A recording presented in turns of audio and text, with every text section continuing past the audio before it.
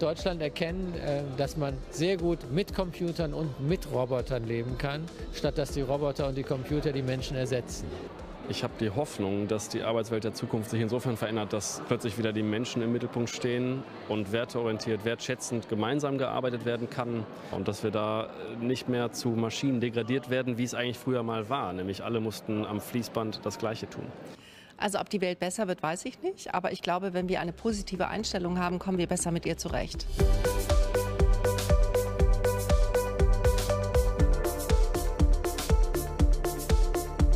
Wenn es schlecht läuft, ähm, dann wird zunächst mal Arbeitslosigkeit entstehen, ähm, insbesondere bei einfachen Arbeiten, äh, weil Roboter und Maschinen hergenommen werden, um die Menschen zu ersetzen.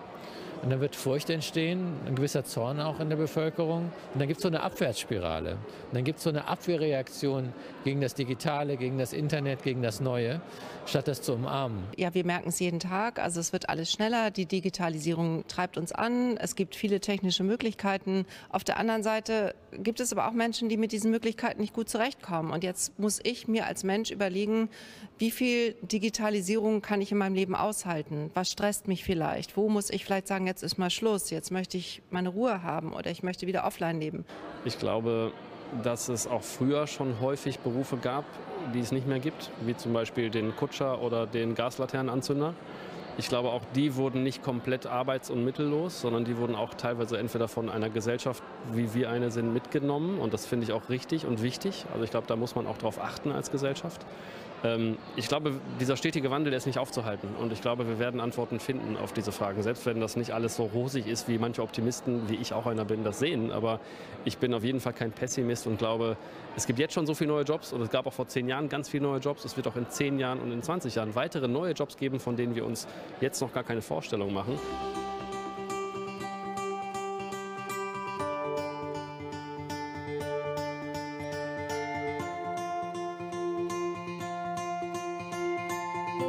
Wir brauchen kluge Manager, äh, die verstehen, dass das auf Dauer die bessere Art der Investition ist, äh, wenn sie ihre Menschen behalten und als, als produktive Arbeitskräfte weiter im Unternehmen haben, dass der Computer alleine relativ dumm ist und bleibt, sondern die menschliche Intuition braucht dann ist die Wertschöpfung auf Dauer natürlich die bessere.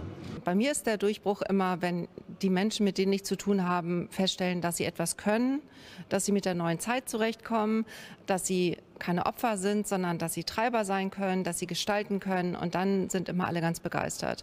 Und ich glaube, da gibt es gerade so eine Art Clash von zwei Kulturen, nämlich einmal die Kultur, die gerne dabei bleiben würden, wie es früher war, nämlich äh, Law and Order und der Chef ist der Patriarch, der weiß, wo die Reise hingeht und bitte keiner soll dagegen was sagen.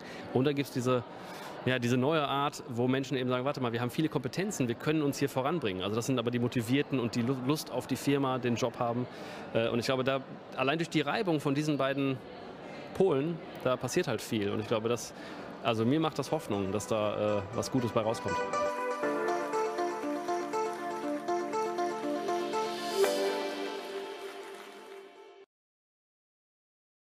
Schönen guten Abend, meine Damen und Herren. Ich freue mich sehr, ähm, dass wir dieses Thema, was im Moment so, so heiß diskutiert, von vielen auch gefürchtet wird, ähm, von manchen auch sozusagen als eine wahre Halserscheinung gesehen wird, einmal untereinander und dann vor allem auch mit Ihnen diskutieren können.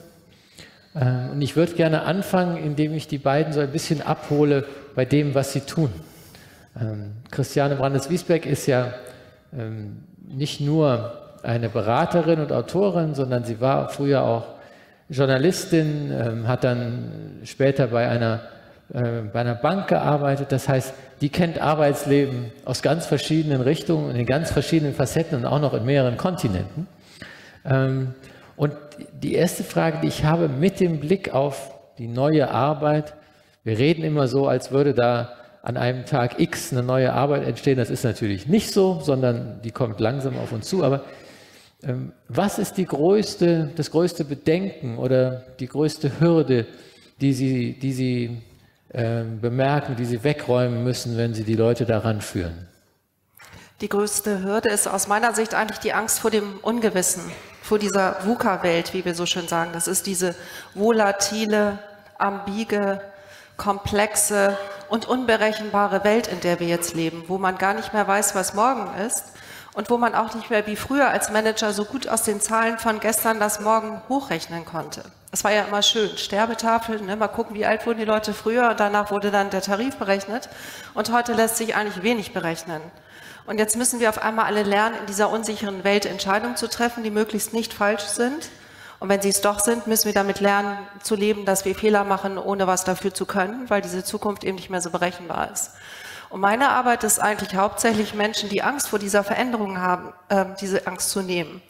Und das mache ich natürlich mit ähm, professionellen Methoden, aber auch sehr viel mit guter Laune und auch mit meinem Beispiel, weil ich so einen Mosaiklebenslauf habe mit ganz vielen Umwegen, die früher ganz schlimm waren und wo man immer sagt, ach, du kriegst nie wieder einen Job. Und heute finden das alle toll. Heute werde ich dafür gefeiert, für diese vielen Wege und diese Kontinente und die unterschiedlichen Branchen und Berufe, die ich hatte. Und dann sagen die immer, ach, wenn die noch lebt und wenn die noch Geld verdient und wenn die noch lacht, dann kann das ja nicht so schlimm werden. Das ist schon mal die Hälfte meiner Arbeit. Und die andere Hälfte ist natürlich dann dieses Menschen auf die neue Zeit vorzubereiten, zu sagen, du kannst doch schon ganz viel, du bist doch schon super aufgestellt und ein bisschen Mut und wir sind ja alle da und helfen. Und das ist meine Arbeit, die ich mache, natürlich mit allen möglichen professionellen Unterstützungsmitteln. Klar. Aber äh, du bist auch in vielerlei Hinsicht eine Ausnahme. Denn bisher zumindest von der Form her leben die meisten, arbeiten die meisten Deutschen immer noch in den guten alten Normalarbeitsverhältnissen, von denen es mehr gibt als je zuvor. Das stimmt. Ähm, nach, nach zehn Jahren Jobwunder. Und, Und die meisten war, leben auch gerne. Es war da. schon mal so, dass vor, vor fast 20 Jahren mittlerweile die Zukunft der Arbeit auch schon mal ausgerufen wurde. Damals hieß es, dass jeder von uns künftig ein Anbieter seiner eigenen Arbeitskraft am Markt sein wird, dass die Flexibilität, die das Internet erlaubt, ähm, dafür sorgen wird und wir uns selber sozusagen zum Markte tragen und, und als Unternehmer uns auch selbst begreifen sollen. Wie gesagt, das Ergebnis war, es gibt mehr ähm, sozialversicherungspflichtige Vollarbeitszeitplätze als, Vollzeitarbeitsplätze als je zuvor. Mit anderen Worten, ähm, damals waren die Prognosen falsch und man, man hat den Menschen Sorgen bereitet, die unnötig waren. Machen wir das heute wieder? Ja, das machen wir. Also ich glaube, das Geschäft mit der Angst funktioniert nach wie vor. Es werden ja auch New Work-Konzepte verkauft mit der Angst. Es werden nach wie vor gerne Rezepte verkauft. Ähm, ich glaube auch so ein bisschen dieses Sales-Momentum ist immer äh, Angstszenario aufbauen und hier habe ich die Lösung. Und wir wissen natürlich alle, weil wir klug sind, auch gerade die Zeitleser natürlich, besonders klug sind, dass das alles nicht stimmt und dass es auch keine Heilsbringer gibt. Und wir sind da sehr skeptisch. Und eigentlich sind aus meiner Sicht die Leute besonders erfolgreich, die sagen, ja Leute, also es gab ja immer schon Veränderungen, wir sind ja wieder Frosch im Wasser, das Wasser wird ja nicht auf einmal warm, sondern wir gewöhnen uns an vieles. Und ansonsten sollen wir anfangen, unser eigenes Leben zu steuern. Dass die Digitalisierung, die künstliche Intelligenz nicht uns steuert, sondern dass wir uns überlegen, bevor wir anfangen, neue Software einzuführen oder Prozesse zu digitalisieren, brauchen wir das noch? Ist das noch wichtig? Ist es etwas, was wir leisten wollen oder ist das vielleicht überflüssig? Also Disruption in der Bürokratie im Alltag. Ich äh, fordere Leute dazu auf, weniger Reportings zu machen und Aktenordner äh, vielleicht online zu führen und nicht mal alles doppelt abzuheften. Und das sind so kleine Dinge im Büro, die schon entlasten. Und wenn Leute das machen, dann fühlen sie sich entlastet und haben mehr Zeit und Energie für das Neue. Also es ist nicht so viel Hexenwerk, aber man muss schon ein bisschen offen sein für, für Dinge, die man noch nicht so kennt. Lasse, ähm, deine Geschichte wurde kurz schon erwähnt. Du hast eine, eine Agentur übernommen im Westfälischen und ähm, dann damit Furore gemacht, äh, dass du vom 8 auf den 5-Stunden-Tag gewechselt bist. Erzähl mal ein bisschen, wie das war, bitte. Es war ganz schrecklich. Ja. Äh, also ich habe, ich hatte vor, ja, vor 13 Jahren meine erste Agentur gegründet, Digitalagentur, wie man es kennt, also klassisch Webseiten verkauft, ähm, Dinge online entwickelt, Verkaufsprozesse abgebildet und so weiter. Ich bin irgendwann im Sommer 2017 ausgestiegen, weil wir vier Gesellschafter waren und nicht alle immer einer Meinung und irgendwann haben wir gemerkt, das wird jetzt langsam lästig. Ich bin dann der gewesen, der gegangen ist und habe dann im Garten gesessen und mir wurde diese Agentur angeboten am Markt ähm, und ich habe das so gesehen, als das wäre eine schöne Abkürzung, wenn ich dieses Agenturleben wieder haben wollen würde. Und ich habe dann da gesessen und gedacht, okay, was machst du jetzt? Wie willst du eigentlich wirklich arbeiten? Und ich hatte, ähm, ich habe zwei Kinder, bin verheiratet, ich habe jede Menge soziales Netzwerk, habe viele Hobbys, äh, viele Interessen und habe auf jeden Fall für mich klar gehabt, ich werde nicht nochmal so reinstarten, dass ich wieder jeden Tag 12, 14, 15 Stunden arbeiten möchte. Ähm, ironischerweise sieht das jetzt meine Realität ganz schön ähnlich, dass ich doch länger arbeite, aber in dem Moment war das klar, ich möchte das anders machen. Wie könnte das denn, was könnte es denn da für Möglichkeiten geben? Ähm, und dann hatte ich so ein bisschen schon mir ein paar Gedanken gemacht, habe auch gelesen, hatte früher in meiner alten Agentur zwei Nachmittage mir schon freigenommen, weil ich einfach nicht mehr hinterhergekommen bin. Ich glaube, das nicht mehr hinterherkommen ist auch, glaube ich, ein Stress, den viele äh, vielleicht von den Zuhörern auch kennen. Es gibt einfach privat so viel Wandel, ständiges Online-Sein, ständige Erreichbarkeit, Konsummöglichkeiten rund um die Uhr und auch diese Erwartungshaltung vom gesellschaftlichen Umfeld, dass man immer erreichbar sein muss und auch auf jede E-Mail, jede WhatsApp-Nachricht oder auf alle Nachrichten sofort äh, Antwort findet oder bekommt. Ähm, und das gleiche halt auch beruflich. Und ich habe dann in meiner alten Agentur schon gesagt, ich mache zwei Nachmittage frei. Wenn dann mal ein Kunde angerufen hat, habe ich den natürlich äh, bedient. Das ist ja ganz normal, weil ich habe auch den Job wie heute auch mit großer Leidenschaft gemacht. Ich glaube, das ist auch so ein Dilemma. Viele Menschen im Job in meinem Umfeld lieben das, was sie tun. Die können jetzt vom Herzen her durchaus auch 18 Stunden arbeiten, weil die es ja so gerne machen. Das Problem ist, dass halt, das wird nicht lange durchgehalten. Ähm, ich habe auf jeden Fall dann diese Agentur übernehmen können, hatte dann zehn Kollegen und äh, zwei Wochen Zeit, denen meine Vision der Arbeit vorzustellen, denen ihre Identität als Firma zu klauen. Ich habe die, Agentur umbenannt, ich war der neue Chef. Ich habe gesagt, habt ihr eigentlich mal Lust, so mal anders zu arbeiten? Nämlich, einfach, wir machen mal so ein Experiment, fünf Stunden statt acht. Ich habe nur die Erwartungshaltung, dass die Kunden nicht enttäuscht werden, dass wir die Arbeit schaffen, und äh, dass wir am Ende einfach mal alle ein bisschen mehr Zeit haben für persönliche Entwicklung, für Zeit und vielleicht einfach auf dem Sofa liegen und nichts tun. Die haben mich dann angeguckt mit großen Augen und waren sich nicht sicher, ob, sie, ob das ein Test ist. Meinte das jetzt ernst der neue Chef oder will der uns alle ins Boxhorn jagen? Ähm, die haben dann schnell gemerkt, ich meine es ernst und äh, haben sich dazu entschieden, dass, sie das, dass wir das gemeinsam mal angehen wollen. Und dann hatten wir uns gesagt, okay, jetzt mal ganz pragmatisch und relativ unvorbereitet, was braucht es dafür? Und dann haben wir erstmal diese ganz offensichtlichen Themen diskutiert zusammen, nämlich was klaut einem denn Zeit? So, Zeit, wenn man an der Kaffeemaschine steht, ist das natürlich zeitintensiv meistens, weil man ja auch gerne mit den Leuten spricht. Da gibt es aber ganz viele Bürozeitkiller. Also ganz viele sind bekannt. Also wenn das Handy vibriert ständig, wenn äh, der Partner, die Frau, die Kinder anrufen oder wenn das Werk, wenn das Auto in die Werkstatt muss, wenn man einen neuen Personalausweis braucht und diese ganzen privaten Themen, die einem im Kopf schwirren, wenn der Kunde anruft, wenn man das Fax abtippen muss. Es gibt ja die Studie von 2016, dass 80 Prozent der Unternehmen in Deutschland noch häufig und sehr häufig ein Fax benutzen. Das heißt auch wirklich so schlechte Prozesse, wie du sie auch eben beschrieben hast. Ähm, und wir haben da einfach offen darüber diskutiert, was können wir so ganz pragmatisch erstmal tun. Und dann klar gemacht, dass wir jede Woche Feedbackrunden haben müssen, wo wir einfach gucken, was hat denn jetzt nicht geklappt? Ich habe auch ganz klar kommuniziert, dass ich davon ausgehe, dass wir es nicht schaffen, dass wir total auf die Nase fliegen. In dem Moment war mir das relativ egal, weil ich da auch gar keine große Angst vor hatte, weil dann kann man es ja wieder ändern. Ähm, ist dann aber nicht passiert. So, das war im Ende Oktober 2017. Danach haben wir den November gemacht und ein bisschen gelernt, viel gelernt. Und dann hat plötzlich irgendwie diese Presse davon Wind bekommen. Und dann, jetzt sitze ich hier. das ist absurd.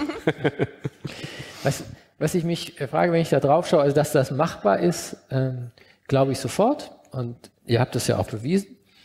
Ähm, andererseits ist es so, wenn man sich Glücksstudien anschaut, dann ist Arbeit, also die ist die Arbeitszeit grundsätzlich ja kein Unglücksstifter, sondern im Gegenteil. Das liegt aber weniger an den Momenten, wo ich meine Arbeit wirklich verrichte, sondern mehr an dem, an dem sozialen Kontext der Arbeit. Ich gehe sozusagen zu Kollegen, die ich mag, jedenfalls häufig und äh, habe Umgang mit denen und so. Ähm, und deswegen gehe ich gerne. Im Grunde der gleiche Grund, aus dem meine kleine Tochter gerne in die Schule geht. So. Ähm, das nimmt ihr aber ja weg. Ja. Was bleibt dann noch an dem Glücksgefühl Arbeit? Also erstmal, wir sind ein sehr, also mein Team ist sehr jung, alle so Mitte 20. Ähm, das sind Digitalexperten, also viele Informatiker, Anwendungsentwickler, die sind Nerds auf Neudeutsch. Die haben, glaube ich, ein anderes andere Sozialkompetenzen, vielleicht. Also das sind alles sehr soziale und nette Menschen, aber denen ist das vielleicht nicht so wichtig, wie vielleicht einem Soziologen das wichtig wäre. Ähm, ich habe das Thema aber komplett unterschätzt tatsächlich. Das ist eine Sache, äh, das haben wir alle gar nicht so bewusst, naja, vor Augen gehabt dass das ganz wichtig für die Unternehmenskultur ist, auch diesen Austausch an der Kaffeemaschine zu haben. Ähm, wir, hatten, wir hatten ganz am Anfang erstmal gesagt, wir machen ganz knallhart von 8 bis 1 hier eine leise Umgebung. Hier wird nicht groß diskutiert. Wir brauchen Regeln, wie wir uns austauschen, damit wir Prozesse nicht aufhalten. Und aus dem Team kam irgendwann mal die Idee, ey, lass uns doch einfach mal hier zusammen Mittagessen kochen jeden Freitag, weil das nett ist. Dann kocht einer für alle und dann haben wir danach Zeit, Open End, auch freiwillig, uns auszutauschen. Diese Freiwilligkeit ist immer noch da, auch bei allen Nachmittagsaktivitäten. Davon haben wir mittlerweile so ein paar Sachen. Ähm, das wird aber einfach angenommen, weil das allen wichtig ist. Jeder möchte nämlich mit den netten Menschen, mit denen wir da zusammenarbeiten, auch Austausch finden. Und auch so ein Thema, wir haben, wir haben ein paar Workshops immer mal wieder mit externer Supervision, um so einen Raum aufzumachen, um wirklich ehrliches Feedback zu bekommen. Und da wurden unter anderem erarbeitet, was müssen wir tun, damit der Fünf-Stunden-Tag auch wirklich funktioniert, auch zukünftig. Und da stand zum Beispiel drauf, wir brauchen mehr Team-Events, wo ich gedacht habe, ja, aber das hat doch nichts mit dem Fünf-Stunden-Tag zu tun, jetzt wirklich äh, konkret. Aber das ist genau das, wenn ich mit Menschen arbeite, mit denen ich gerne Zeit verbringe und gerne die Arbeit teile, dann geht die Arbeit auch leichter von der Hand. Was ich mich gerade frage, Christiane, ähm, Lasses Beispiel beweist, es gibt heute eine Menge Freiheitsgrade. Man kann eine Menge Dinge hinstellen, von denen man gedacht hätte, das klappt nicht. Mhm. Die, die, den Fünf-Stunden-Tag bei vollem Lohnausgleich, ähm, genauso wie Unternehmen, die zeigen, dass sie ohne Hierarchie auskommen, ähm, oder und, und ähm, auch die ersten wirklich ohne Chef und so, ohne Chefin. Da geht also ganz viel und das ist teilweise auch internetgestützt. Das heißt, es ist leichter geworden, solche Dinge herzustellen. Man ist flexibel genug, um mit diesen anderen ähm, Anforderungen des modernen Lebens, die Lasse beschrieben hat, umzugehen und so. Was ich mich dabei frage, ist folgendes. Was davon führt wirklich in die Zukunft der Arbeit? Was sind Modelle, von denen du glaubst, dass die ähm, auch in einem größeren Zusammenhang in die Zukunft tragen können? Also für mich das wichtigste Konzept jetzt speziell in Bezug auf Führung, weil das ist ja so mein, mein großes Thema, ist, das nennt sich Ambidextrie, lateinisch beidhändig. Und da gibt es einmal die rechte Hand, das ist die Exploit-Hand, mit der man wie ein Manager ein Unternehmen rational führt, dass ich in kurzer Zeit einen hohen Output generiere und die Prozesse gut und ähm, zeitgemäß darstelle. Und dann gibt es diese Explore-Hand und die ist eigentlich so rum. Und die Explore-Hand sagt, gib mir das Neue, probier was aus und ähm, in der Zukunft werden wir lernen müssen, welche Hand wir wann nutzen wollen. Und zwar nicht nur als Führungskraft, sondern auch für uns selber. Ich bin eine große Anhängerin von Selbstführung. Ich glaube übrigens, dass die Deutschen ein bisschen faul geworden sind. Wir lassen uns leicht gehen. Ich glaube, wir müssen in der Zukunft ein bisschen mehr gucken, wer sind wir, wofür stehen wir. Und wir wissen auch alle, dass wir Vorbilder für andere Menschen sind. Und wenn ich dann weiß, wann du meinst ich außerhalb bin, von Deutschland oder Vor Vorbild? Vorbild, also ich merke, ich bin Vorbild für andere Menschen in dem, was ich tue. Wenn ich jetzt das Haus verlasse, benehme ich mich besser als noch vor zehn Jahren, wo ich dachte, ach, Christiane kennt kein Mensch. Aber heute gucken viele Leute, was ich mache durch Social Media und weil man weiß, wenn die was macht, das ist interessant. Das heißt, man muss sich dann schon anders führen, anders auch selber überlegen, wie möchte ich sein. Und ähm, wenn Menschen sich überlegen, wann ich eine Person sein will, die was fordern will, muss in der Arbeit, aber auch im Privaten, und wann ich eine Person bin, die offen ist für andere, auch für Menschen, die anders denken, auch für Diverses, auch vielleicht ähm, vernünftigen Austausch. Ich glaube, das sind zwei Fähigkeiten, die, die für die Zukunft sehr, sehr weit führen. Und dann hat man einen gesunden Menschenverstand, wo man mit all diesen technologischen Entwicklungen vernünftig umgehen kann. Also das ist jetzt meine persönliche Wahrnehmung. Mhm. Lass, lass uns einmal ansprechen, dein, diese, diese Rückführung von, von Wochenarbeitszeit ist ja auch immer eine Antwort gewesen darauf, dass das Arbeitsvolumen abnimmt, dass Maschinen uns Arbeit abnehmen. Klassiker bei VW und so. Schon vor vielen, vielen Jahren. 35-Stunden-Woche von der IG Metall. Ähm, ist das eine Antwort für die Zukunft, die also über dein Unternehmen hinausgeht? Müssen wir uns mit geringerem Arbeitsvolumen abfinden und das besser untereinander verteilen? Also du sprichst von Arbeitsvolumen für Menschen, weil das ja. Arbeitsvolumen bei VW ist ja stark gestiegen. Ich rede nur ja, über also, die menschliche Arbeitskraft mh. und nicht über die. Ich glaube, wir sollten erstmal. Äh, ich würde gerne zu dem New Work-Thema noch eine Sache sagen, aber zu dem Arbeitsvolumen und dem Menschen. Ich glaube, wir müssen erstmal gucken, wie hat sich denn äh, der Job, also der, ein Beruf und die Arbeit, wie hat sich die denn gewandelt? Also früher war das repetitive Arbeit bei VW, da musste nämlich diese Schraube auf dieses Stück Blech Heute ist das okay. Hier gibt es in der Prozesskette, im Supply Chain gibt's Probleme. Wie löse ich das? Das heißt, die, die kognitive Herausforderung, die jeder Mitarbeiter hat, ist, glaube ich, naja, um ein Vielfaches höher als vor 30, 40, 50 Jahren. Das heißt, die Energie, die ich dafür bezahlen muss, die Lösung zu finden, die ist viel höher. Das heißt, der Beruf als solcher, die Arbeit als solcher hat sich extrem gewandelt. Und ich glaube, ich glaube nicht mal, dass der Fünf-Stunden-Tag jetzt eine Antwort ist auf die Frage, dass Arbeitsvolumen abnimmt, sondern eher, dass acht Stunden auch nicht mehr Output liefern können, weil der Geist und der Mensch das nicht schafft. Also ich glaube, das ist eher, ich habe mich, also ich habe mir die Frage gestellt, wie sieht denn das optimale Arbeitsumfeld aus, wo meine Kollegen den optimalen Job machen können? Eine Antwort ist für mich der Fünf-Stunden-Tag, weil die dadurch Zeit haben, also sie, sie, ich weiß, der Acht-Stunden-Tag funktioniert nicht. Da braucht man Pausen. Das ist auch völlig normal. Das finde ich auch nicht schlimm. Da braucht man diese Mikropausen wie, ich trinke mal eine halbe Stunde Kaffee, weil ich eh nicht weiterkomme, weil ich brauche jetzt eine Pause. Das ist aber nicht die Pause, die wirklich dazu führt, dass Energie aufgetankt wird. Das ist nur so, okay, ich überbrücke das jetzt, bis es irgendwann 17, 18 Uhr ist. Das heißt, ich glaube, also meine Herangehensweise ist nicht, dass wir KI und Robotik und Automatisierung haben, sondern eher, ich weiß, wir müssen Lösungen liefern und kreativen Output. Und das können wir nicht in acht Stunden durchhalten. Dann lass uns gucken, wie wir das so gut machen können, dass wir vielleicht einen besseren Output in weniger Zeit schaffen. Und dann fällt irgendwann der Stift und dann gehen die ihren Weg, haben plötzlich Zeit für persönlichen, für die Waage, ne? also dass die im, im, im Einklang ist. Du wolltest noch ein Wort zu New Work sagen. Genau, weil New Work ist jetzt für mich zum Beispiel was heißt denn New Work? Das ist so, das gab es offensichtlich schon mal, das war mir komplett unbekannt bis gerade. Ich glaube, der Trick bei New Work ist, dass der Einzelne wieder in den Mittelpunkt rutscht. Also dass es plötzlich wieder ironischerweise bei Digitalisierung, die aus Nullen und Einsen irgendwie besteht, dass plötzlich ganz viele Grautöne dazukommen, dass nämlich jeder Einzelne in seinen Stärken wichtig ist und mit seinen Kompetenzen wichtig wird und plötzlich wieder relevant wird. Ich glaube, das ist. Ähm Aber ist, ist das wirklich so? Oder, oder sagen wir, hängt das nicht zumindest sehr von dem Mindset der Unternehmensleitungen ab? Ich kann ja auf so einen Roboter schauen als ähm, Ersatz für Arbeitnehmer und den Arbeitnehmer als Kostenfaktor sehen.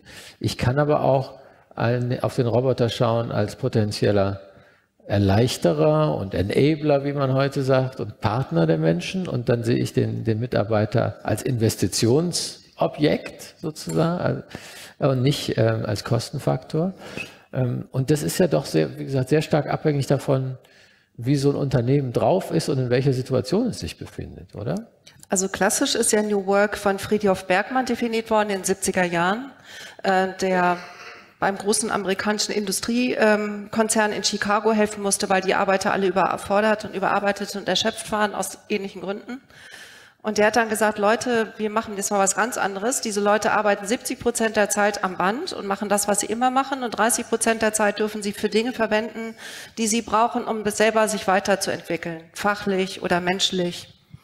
Und das ist eigentlich die Grundidee von New Work. Und er hat gesagt, dadurch haben wir einen Sinn, wir schaffen einen Purpose, heißt das Neudeutsche, Sinnzweck mit unserer Arbeit. Und in dem Moment, wo Menschen einen Sinn in ihrer Arbeit sehen und die Möglichkeit haben, sich weiterzuentwickeln und ihre Arbeitsfähigkeit ähm, aufrechtzuerhalten, sind sie glücklicher und zufriedener. Und dieser Gedanke kommt jetzt im, im Zuge dieser schnellen Digitalisierung wieder hoch, weil wir jetzt uns auch überlegen, ähm, eigentlich kann der Output doch nur noch funktionieren, wenn die digitalen Maschinen das machen, was sie machen und der Mensch aber zufrieden und glücklich arbeitet, also intrinsisch motiviert ist. Und jetzt ist leider die Situation so ein bisschen, dass dieser tolle Begriff New Work missbraucht wird. Und er ist jetzt ein Synonym in vielen Häusern für ähm, dieses, wir arbeiten jetzt mal agiler, weil wir hoffen, dass wir dadurch schneller werden.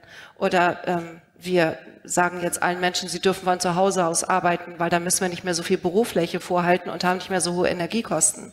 Und in diesem Spannungsfeld bewegen wir uns jetzt. Und wenn dann ein großes Unternehmen wie Xing auf einmal überlegt, New Work als Trademark zu übernehmen, dann fragen sich natürlich auch Leute, so wie ich, die so Bücher schreiben über New Work ist so super und so toll und der Mensch geht im Mittelpunkt. Ähm, wieso heißt mein Buch eigentlich so? Also wie, wie Xing möchte ich eigentlich nicht heißen mit, als Autorin. Und das macht die Sache so schwierig. Also gehen wir damit vernünftig vor oder ist es ein Produkt, was wir vermarkten, um wieder kapitalistisch besser zu werden? Mhm.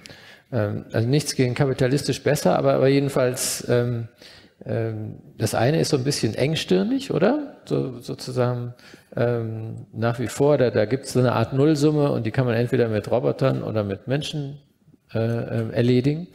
Und, ähm, ähm, und das andere ist halt ein expansives Denken. So. Mhm. Und meine Frage ist, wie kommt man denn dahin, dass in mehr Unternehmen ähm, im eigentlichen Sinne an New Work gedacht wird, expansiv gedacht wird, investi investierend gedacht wird und weniger in dieser von dir gerade beschriebenen Weise? Das versucht man über Innovation. Also heute ist ja das große Schlagwort die Innovationsfähigkeit. Und alle Unternehmen wissen, also klar, Innovation war immer schon wichtig und jeder Unternehmer hat früher auch schon zehn Prozent des ähm, Gewinns in Investitionen ähm, investiert, auch gerade hier in diesem Hause zum Beispiel, war ein gutes Vorbild früher. Ähm, aber das haben viele Leute lange vergessen und jetzt haben wir wieder gelernt, oh ja, wir müssen investieren in Innovationen. Und jetzt sind wir bei diesen starren Prozessen, Managementprozessen und wir haben Qualitätsmanagement, was vorschreibt, wie man zu arbeiten hat und da darf man gar nicht von abweichen. Ähm, und jetzt sind wir in dieser, dieser starren Situation und versuchen dann aber dieses neue innovative Explore wieder einzuführen. Und deshalb gibt es so viele Unternehmen, die dann sagen, gut, wir machen Innovationslabs oder Digital Labs oder wir machen irgendwelche Ausprobiergegenden, wo die dann mal ganz anders arbeiten dürfen, in der Hoffnung, dass diese Ausprobierstellen, diese Zukunftswerkstätten äh, so eine große Strahlkraft haben, dass sie dann irgendwann in das Haus ein, äh, vielleicht einzahlen. Und dann gibt es andere Unternehmen, die, die ändern ihre Arbeitsflächen. Philips zum Beispiel in Hamburg, die haben ja einen ganz, ganz modernen Campus geschaffen, wo keiner mehr einen festen Arbeitsplatz hat, man aber im Arbeitsverbund zusammensitzt und auch Herr Wullens, der CEO, hat keinen eigenen Arbeitsplatz. Der sitzt wie alle anderen auf der Fläche, wenn er auf seinem Laptop tippt. Und wenn er telefonieren will, dann muss er wie alle anderen in so einen Funktionsraum, wo man sprechen darf. Und wahrscheinlich wird man ihn schon vorlassen, aber eigentlich muss er sich da genauso drum bemühen wie alle anderen auch. Und er geht in die Kantine und holt sich seinen, seinen Kuchen selbst. Also bei der Bank, wo ich war, da haben die Vorstände woanders gegessen, einen eigenen Fahrstuhl gehabt, die hat man nie gesehen. So, das heißt, ähm, das ist eine andere Kultur und ein anderes Leben und der Betriebs Betriebsrat hat dem zugestimmt. Die sind die einzigen übrigens, die einen eigenen Raum haben. Alles andere ist offen, weil die gesagt haben, wir sind Betriebsrat, wir müssen Dinge besprechen, die keiner hören soll. Dann haben die gesagt, alles gut, dafür, dass ihr mitmacht, dürft ihr das haben. Das ist unser Geschenk. So, und man versucht dann eben durch solche Wege Menschen zu ermutigen, innovativ zu sein in ihrem eigenen Bereich, so gut es denn geht. Und ähm, ich glaube schon, dass diese, diese Mischung zwischen festen Ritualen einerseits, aber eine gewisse Freiheit, um Dinge auszuprobieren, für Menschen sehr gut ist. Lasse, kannst du verstehen, dass das manche Leute so eine Aussicht schreckt? Wir haben das neulich mal in so, in so einem Interview gehabt. Ähm, diese, diese hippe neue Arbeitswelt, in der man monster kooperativ ist und teamfähig und ähm, immer aufeinander so voll auch eingeht und so. Ähm, Missverständnis. Ähm, es, gibt, es gibt einen bestimmten Anteil der Bevölkerung, den das erschreckt. Ja. Weil die glauben, dass sie dafür nicht gemacht sind. Ich habe auch ähnliche Erfahrungen sogar teilweise gemacht, dass bei mir im Team gesagt wurde, hier Lasse, sag mal, du bist der Chef, jetzt sag mal genau, wie das hier laufen soll. Wo ich mir dachte, warte mal, aber ihr wisst es im Zweifel sogar besser als ich. Das wollen manche nicht, das stimmt schon. Ich glaube auch die neue, wenn man jetzt über Generation sprechen will, dieses Generation Z-Thema, die wollen Sicherheit und die wollen auch teilweise Ansagen haben. Deswegen, ich bin sehr gespannt, was da jetzt passiert, weil ich glaube, nicht jeder ist so, dass er mit dieser Freiheit umgehen kann und nicht jeder möchte das. Viele möchten vielleicht auch ganz klare Prozesse und da soll einer über den sitzen, der vielleicht auch äh, einen Schutzfaktor darstellt, weil wenn man viel Freiheit hat, kann man auch viel runterschmeißen vielleicht. Ähm, ja, ich kann, also ich persönlich bin eher der Mensch, der sagt, wie super ist das denn? Hab aber auch in meinem kleinen Team von jetzt 17 Leuten gemerkt, das ist nicht jedermanns Sache.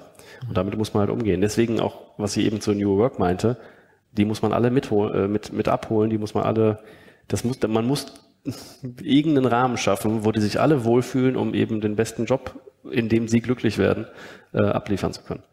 Und erstmal muss man sie wahrscheinlich auch schon in, in der Bildung und Ausbildung ein bisschen auf diese Welt vorbereiten, oder? Ähm, es ist total billig und wird ständig gemacht, zu sagen, wir müssen mehr in Bildung investieren. Dann ist ja die Frage, okay, aber in was für Bildung eigentlich? Mit anderen Worten, und das geht ja von, die müssen alle Coden lernen in vernetzten Schulen, ähm, bis die müssen endlich wieder lernen, kreativ zu sein ähm, und müssen lernen zu lernen, tausend Stichworte. Was ist es denn nun, Christiane? Aus meiner Sicht ist es einfach wieder dieses Vertrauen, dass man in seiner Intuition schon vieles angelegt hat. Ähm, für mich sind immer so, neue Führung bedeutet, dass ich meiner Intuition vertraue, dass ich strategisch vorgehe, mir überlege, was ich vorhabe und die Digitalisierung mit einbaue. Okay, also und Schule, wenn ich das kann, in Schule, der Schule soll mir beibringen, Vertrauen. Wie macht man das in der also Schule? Also aus meiner Sicht, mein, mein, Sohn hat in Amerika und in Deutschland äh, Schule besucht. Amerika hat ihm sehr viel Spaß gemacht, Deutschland nicht so. In Deutschland wurde immer erwartet, du musst das so machen. Also alle Wege wurden vorgeschrieben und der deutsche Schüler sagt das, was der Lehrer oder die Lehrerin hören will. Und das wissen die vorher schon. Und wenn da bei uns am Tisch diskutiert wurde und mein Mann sagte, aber Geschichtsthemen zum Beispiel, aber es war doch in Wirklichkeit so, dann sagte mein Sohn, das will ich nicht wissen, der Lehrer sagt, denkt, dass es anders war. So, das heißt, in Deutschland wird sehr stark normiert und es wird erwartet, wie die Wahrheit auszusehen hat. Und aber Menschen, gerade junge Menschen, wollen doch ausprobieren. Die wollen Thesen testen. Ne? Die provozieren uns ja auch mit dem, was sie sagen. Die wollen gucken mal sehen, wie die sind. Und wenn man das wie in Amerika als Stärke betrachtet und das interessant findet, dass Kinder lebendig sind und dass die eigene Vorstellung haben und Dinge logisch weiterdenken, auch wenn sie vielleicht falsch sind, aber überhaupt, dass sie denken. Ähm, ich finde, da sollte man in der Schule wieder ein bisschen mehr Wert drauf legen. Und Coden ist ja auch eine kreative Arbeit, wenn man es denn gerne macht.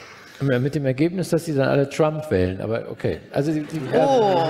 die, die ähm, aber ähm, im Ernst, Lasse, was noch?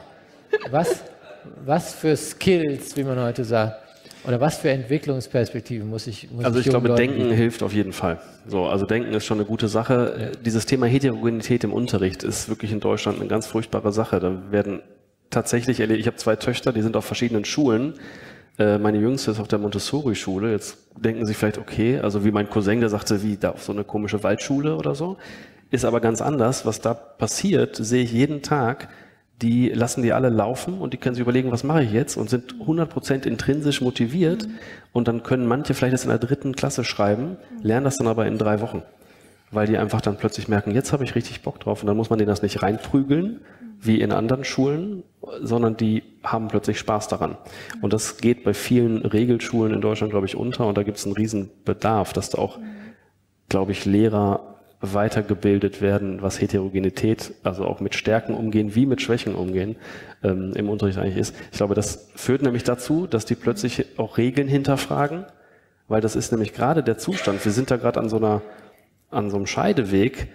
Diese alte Management-Theorie, das haben wir schon immer so gemacht und hier sind die Zahlen und jetzt müssen wir das machen, das ist halt total hinfällig, eben weil wir in dieser VUCA-Welt leben. Das, diese komplex, also die komplexen Zusammenhänge, wie sie heutzutage existieren, die kann auch keiner mit Management und Nachdenken in Verbindung bringen. Das Beispiel, warum 2008 die Kaugummiverkäufe eingebrochen sind, ist bekannt. Gibt's vielleicht weiß jemand, warum 2008 die Kaugummiverkäufe extrem eingebrochen sind? Ich bin jetzt auf Ihre Meinung sehr gespannt. Hat jemand eine Idee? Kaugummiverkäufe 2008, riesen, riesen Macht's nicht so spannend. ja, das ist aber ein gutes Beispiel, weil das iPhone rauskam, die Leute an den Supermarktkassen plötzlich nicht mehr Kaugummis gekauft haben, weil sie gedachten, ach, ich könnte mal wieder Kaugummis kaufen, sondern die standen da so. Bis man das rausgefunden hat, musste man Studien und Videoüberwachung einführen in den Supermärkten. Und das ist halt so ein Zusammenhang, den kann man auch nicht vorhersehen. So, und das ist so eine Sache, wenn ich immer die gleichen Fragen stelle, kriege ich auch immer die gleichen Antworten. Wir müssen auch mal ein bisschen verrückte Kinder aus den Schulen kriegen, die vielleicht nicht das auswendig gelernt haben, sondern die sich mal gefragt haben, ja, das macht halt überhaupt keinen Sinn. Ich werde sehr häufig zu Hause gerade entlarvt von meinen Kindern mit einfach gemeinen Fragen, wo sie mich bloßstellen und ich feststellen muss, oh ja, ich habe echt gerade ziemlich im Blödsinn gequatscht, weil ihr habt recht, ihr kleinen Biester. Und in, in der Arbeitswelt ist es ja ähnlich. Ich habe kürzlich einen Anruf bekommen von einer wirklich hochbegabten jungen Frau, die im Innovationsumfeld arbeitet, in einem Softwarehaus. Und die sagte, Christian, ich habe dir gerade was total Cooles vorgestellt. Und dann sagten die alle, jetzt sei mal nicht so ungeduldig, du bist noch nicht so weit. Also so ein Verhalten ist eben auch nicht mehr zeitgemäß. Das habe ich als junge Frau auch erlebt. Äh, für, für damals war das dann okay. Aber heute, wo wir innovative Menschen brauchen, die querdenken, die anders denken, da kann man auch sagen, super, ich habe die im Team, die will ich doch haben, die möchte ich doch fördern. Und nicht sagen, lass mal Kleines, ne, ruhig brauner und du bist noch so jung und du hast noch ganz viel Zeit, um dich auszuleben. Also ich glaube schon, dieses Hinterfragen, Fragen zulassen, anders denken, nicht so viel mit Rezepten arbeiten. Also ich, ähm, das ist in dem ersten Buch auch geschrieben, Rezepte ist out. Jeder geht seinen eigenen Weg und wir haben unseren inneren Kompass. Und wenn wir uns weiterentwickeln und freien Geist haben und die Welt wach beobachten, dann können wir alles aufnehmen und ausprobieren und das macht dann die Menschen insgesamt auch als Team und auch die Arbeitsorganisation besser. Darf ich mal ganz offen sagen, ihr seid mir im Moment ein bisschen happy-go-lucky.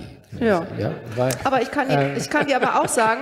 nee, ich bin ähm, noch nicht fertig. Sorry. Entschuldigung, weil ähm, ich meine, ähm, da gibt es veritable Bedenken da draußen, dass wir mehr oder weniger am Ende des deutschen Jobwunders sind und dass laut einer der ersten Studien, es gibt mittlerweile andere, die, die anderes sagen, aber dass 47 Prozent aller Jobgruppen von der Digitalisierung bedroht sind. Mhm. Da gibt es eine neue Siemens-Fabrik bei Ulm, die ähm, braucht nur noch ein Drittel der Menschen von der alten Fabrik und so weiter. Also zumindest für die Übergangsgeneration gibt es da ähm, große Befürchtungen. Und wenn die dann hören, ähm, naja, wir müssen irgendwie so ein bisschen freier werden und ähm, lernen, unser Potenzial auszuschöpfen, dann, dann sehen die das mehr so als, als obere Mittelschichtsantwort ja, und als Städterantwort, also als Milchschaumantwort ähm, und ähm, nicht als Antwort auf ihre Probleme. Ähm, ich weiß schon, dass ihr mit Recht sagt, nee, nee, aber irgendwie ist es trotzdem die Antwort. Trotzdem, wie kommt man denen näher? Wie kann man diesen Prozess, den ihr wollt, der was zu tun hat mit Selbstvertrauen, was angeknackst ist, der was zu tun hat mit persönlicher Entwicklung und so weiter, wie kann man den ähm, anstoßen? Wie kann man den möglich machen? Also es gibt ja ein Unternehmen in Hamburg, das heißt Work Genius. Das sind drei junge Männer, die äh, dieses Unternehmen gegründet haben, eine Software, äh, die Arbeit mit Menschen matcht, und zwar weltweit. Also wenn Sie jetzt bei der Firma Tesa am Wochenende äh, 400.000 Dateien mal eben ausgewertet haben müssen in Ihrem Programm, dann können Sie in der Welt 40 Experten dazu buchen, die das dann machen. Und Sie brauchen vielleicht noch nicht mal die Sprachkenntnisse. Das ist Work Genius, die können das. Und äh, der Gründer, einer der Gründer, Daniel ähm, Barke, den ich eben auch interviewt habe, für, als einer der New Worker, der sagte, in der Zukunft wird es zwei verschiedene Arbeitsmodelle geben. Das eine ist die sogenannte Carrying Company, also sowas wie äh, Bayersdorf oder jetzt auch hier ähm, Hapag-Lloyd, also wo alle Leute gut versorgt werden, gute Arbeitsbedingungen äh, haben, fürs Alter sparen können, relativ lange Verweildauer haben können, wenn sie es wollen. Und das andere sind die fluiden ähm, Companies. Und die fluiden sind die, wo es einen kleinen, engen Stab an festen Mitarbeitern gibt und alle anderen werden dazu gebucht. Immer nach Bedarf. Die kommen und gehen. Und das sind dann Menschen, die sozusagen selbstständig sind und die müssen sich weiterentwickeln, sowohl im Wissen her, aber auch im Auftreten. Weil die müssen sich jetzt natürlich verkaufen und die haben eine Software, mit der ich getestet werde. Da wird also, bevor ich äh, mich da als, als Arbeiterin anstellen lassen darf, egal in welchem Level, Fragen beantworten und diese Fragen zeigen, was für ein Mensch ich bin, was für ein Service-Level ich habe, äh, welch, was ich überhaupt kann. Und dann gibt es noch Feedbackbögen und dann werde ich innerhalb dieser Firma gerankt. Jetzt kann man sagen, das ist ja wahnsinnig anstrengend anstrengend, da muss ich ja mal super sein, damit ich gebucht werde. Aber so wird es wahrscheinlich irgendwann sein, dass wir unabhängig da, wo wir leben, dazu gebucht werden oder auch nicht. Und nicht mehr diese ja, Festanstellungsgarantie haben. Jetzt sind, das hier sind alles wohlgebildete, ähm, wohlhabende Zeitleser. Aber ähm, die, also das heißt, die Leute, von denen ich im Moment rede, sind wahrscheinlich in der Mehrheit nicht im Saal. Aber das, was du jetzt sagst, macht denen nur noch mehr Angst. Deswegen meine Frage, vielleicht auch nochmal an Lasse. Also erstmal. Wo geht das hin? Erstmal haben wir nahezu Vollbeschäftigung gerade. Und trotzdem haben wir so viele offene Stellen. Allein in der Pflege irgendwie gerade 35.000, bei uns in der Branche 55.000. Die kriegen wir nicht, weil die gibt's, die gibt's halt nicht. Also selbst wenn man jetzt sagen würde, ich würde die gerne in der Pflege haben, die sind nicht da. Und jedes Jahr äh, gehen durchschnittlich 375.000 Menschen aus dem Arbeitsmarkt raus und werden halt nicht ersetzt. Das heißt, wir verlieren gerade ohne Ende Arbeitskräfte, die wir eigentlich brauchen. Ich glaube, durch die Digitalisierung fallen mit Sicherheit viele Jobs weg, ja. Da gibt's aber auch plötzlich neue Jobs. Ich war kürzlich äh, auch in Hamburg auf einer Bühne und habe ähm, da mit mehreren auch in so einem Panel gesessen und wir mussten alle unseren Job beschreiben. Und ich glaube, jeder von uns brauchte dafür so ein paar Sätze, weil unsere Jobs wirklich erklärungsbedürftig sind. Und die, viele der Jobs gab's vor zehn Jahren auch nicht. Und genauso wie es jetzt einfach so viel also wirklich so viele Jobs gibt wie YouTuber und Influencer und die verdienen da seriöses Geld mit, ähm, wird es auch in zehn Jahren Jobs geben, von denen wir jetzt noch gar nicht wissen, was das für Jobs sein werden. Und auch für eben nicht die Akademiker gibt es auch andere Jobs. Also davon bin ich überzeugt. Ich bin eher sehr optimistisch veranlagt und denke mir so, ey, wir haben so viel Arbeit an verschiedensten Stellen. Ähm, wir brauchen da auch Menschen für. Es gibt, es gibt im Moment diese beiden ähm, Vorstellungen, von der Zukunft der Arbeit die eine, die, die bei euch durchkommt. Ähm, das ist eine optimistische Vervielfältigung dieses Modells, was ihr selber auch repräsentiert. Und ähm, das andere ist diese dystopische Idee, ähm, dass in der Übergangszeit wahnsinnig viele Jobs wegfallen, die Ungleichheit in der Gesellschaft noch größer wird, nämlich genau zwischen ähm, denen, die damit umgehen können, die das nicht können und so weiter. Ähm, und irgendwie haben ja beide Szenarien sozusagen was für sich. Es gibt Argumente. Ähm, und gleichzeitig ist es ja nicht so, als wären wir dem ausgeliefert. Weder als Individuum noch aber auch als Gesellschaft. Mit anderen Worten, wo müssen wir denn aufpassen? Wo sind denn in den nächsten Jahren die entscheidenden Weichen und, und Schnittstellen und so weiter, an denen sich entscheidet, wohin Deutschland sich bewegt? Ich glaube, wir haben da gar nicht so viel Macht, wie du das jetzt beschreibst. Also ich glaube, dieses Thema, ähm, was soll denn jetzt gerade der Einzelhandel tun gegen Amazon? Ja, die können halt nichts tun. Vielleicht gegen Amazon jetzt als Einzelne, aber den Onlinehandel wird es geben und ich kann jedes Produkt immer kaufen. Das heißt, die haben gar keine, die haben nicht die Möglichkeit, die haben die Macht nicht mehr. Ich glaube, das ist teilweise auch eine politische Diskussion, die man plötzlich anfangen muss, aber auch eine gesellschaftliche. Ich glaube, die, die das nämlich nicht schaffen, da haben wir die Verpflichtung, die mitzunehmen. Ob das ein Grundeinkommen ist, ob das eine Robotersteuer ist, irgendwelche Modelle in der Richtung muss es geben, weil es wird Leute geben, die nicht mithalten können und die sonst, ja, die, also die sonst wirklich am Ende sein werden. Und ich glaube, da gibt es äh, eine große Verpflichtung, die halt äh, Parteien erkennen müssen, die Gesellschaft erkennen muss. Und darum kommen wir nicht. Es wird Leute geben, die werden keine Jobs mehr finden. Mhm. Christiane, was, was macht man mit denen? Ist das also, Grundeinkommen schon der, der, der Weisheit letzter Schluss? Also der Weisheit letzter Schluss vielleicht nicht, aber ein erster Schritt.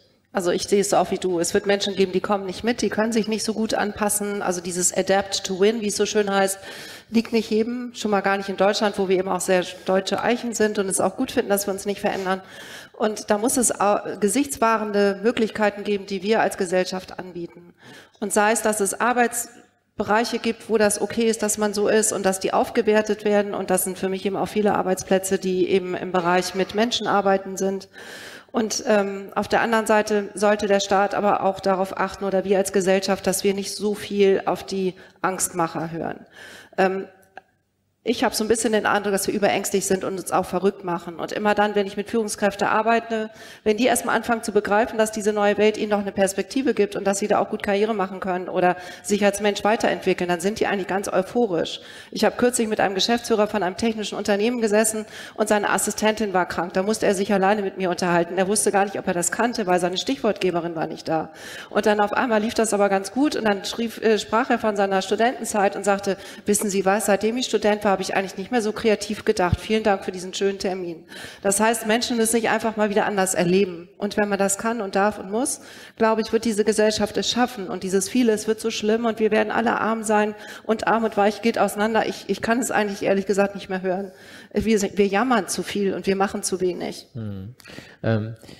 2001, 2 und 3 war Deutschland der kranke Mann Europas. Der eine oder andere mag sich noch erinnern hat sich dann auf den Hosenboden gesetzt und ähm, ist sozusagen zum China des Westens geworden ähm, für die letzten 15 Jahre. Darf man auch nicht vergessen, dass, das, dass diese Erfolgsgeschichte noch besteht. Ähm, übrigens mit der Hilfe auch ähm, von vielen Hunderttausenden von Migrantenarbeitern. Nicht, also ich meine jetzt nicht die Flüchtlinge, sondern auch die innereuropäischen Migrantenarbeiter. In der Spitze haben wir pro Jahr 800.000 hinzugewonnen, ohne die dieses Wachstum gar nicht möglich gewesen wäre.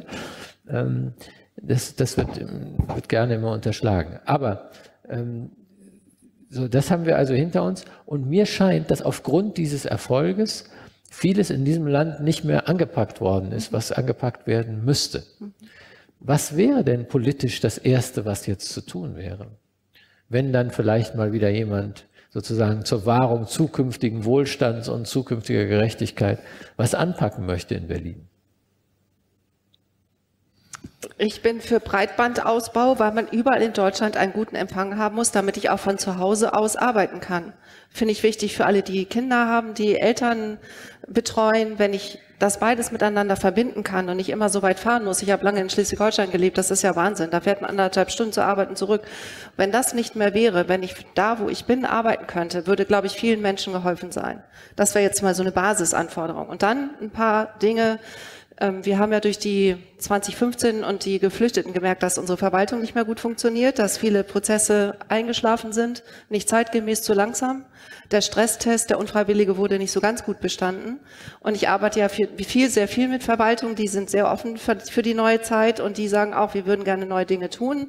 Aber der Bürger hat nicht immer so richtig Lust. Und deshalb, wenn Sie jetzt mal eine digitale Akte oder sowas bekommen, wäre es auch super, wenn man sagt, schön, dass ihr das anbietet und nee, ich will jetzt wieder Papier haben. Also sprich, dass wir das dann auch positiv unterstützen, wenn die Verwaltung sich endlich mal umstellt und nicht wieder sagen, oh Gott, das ist ja alles ganz schrecklich, jetzt muss ich auf einmal online irgendwas ausfüllen, wer weiß, ob das sicher ist.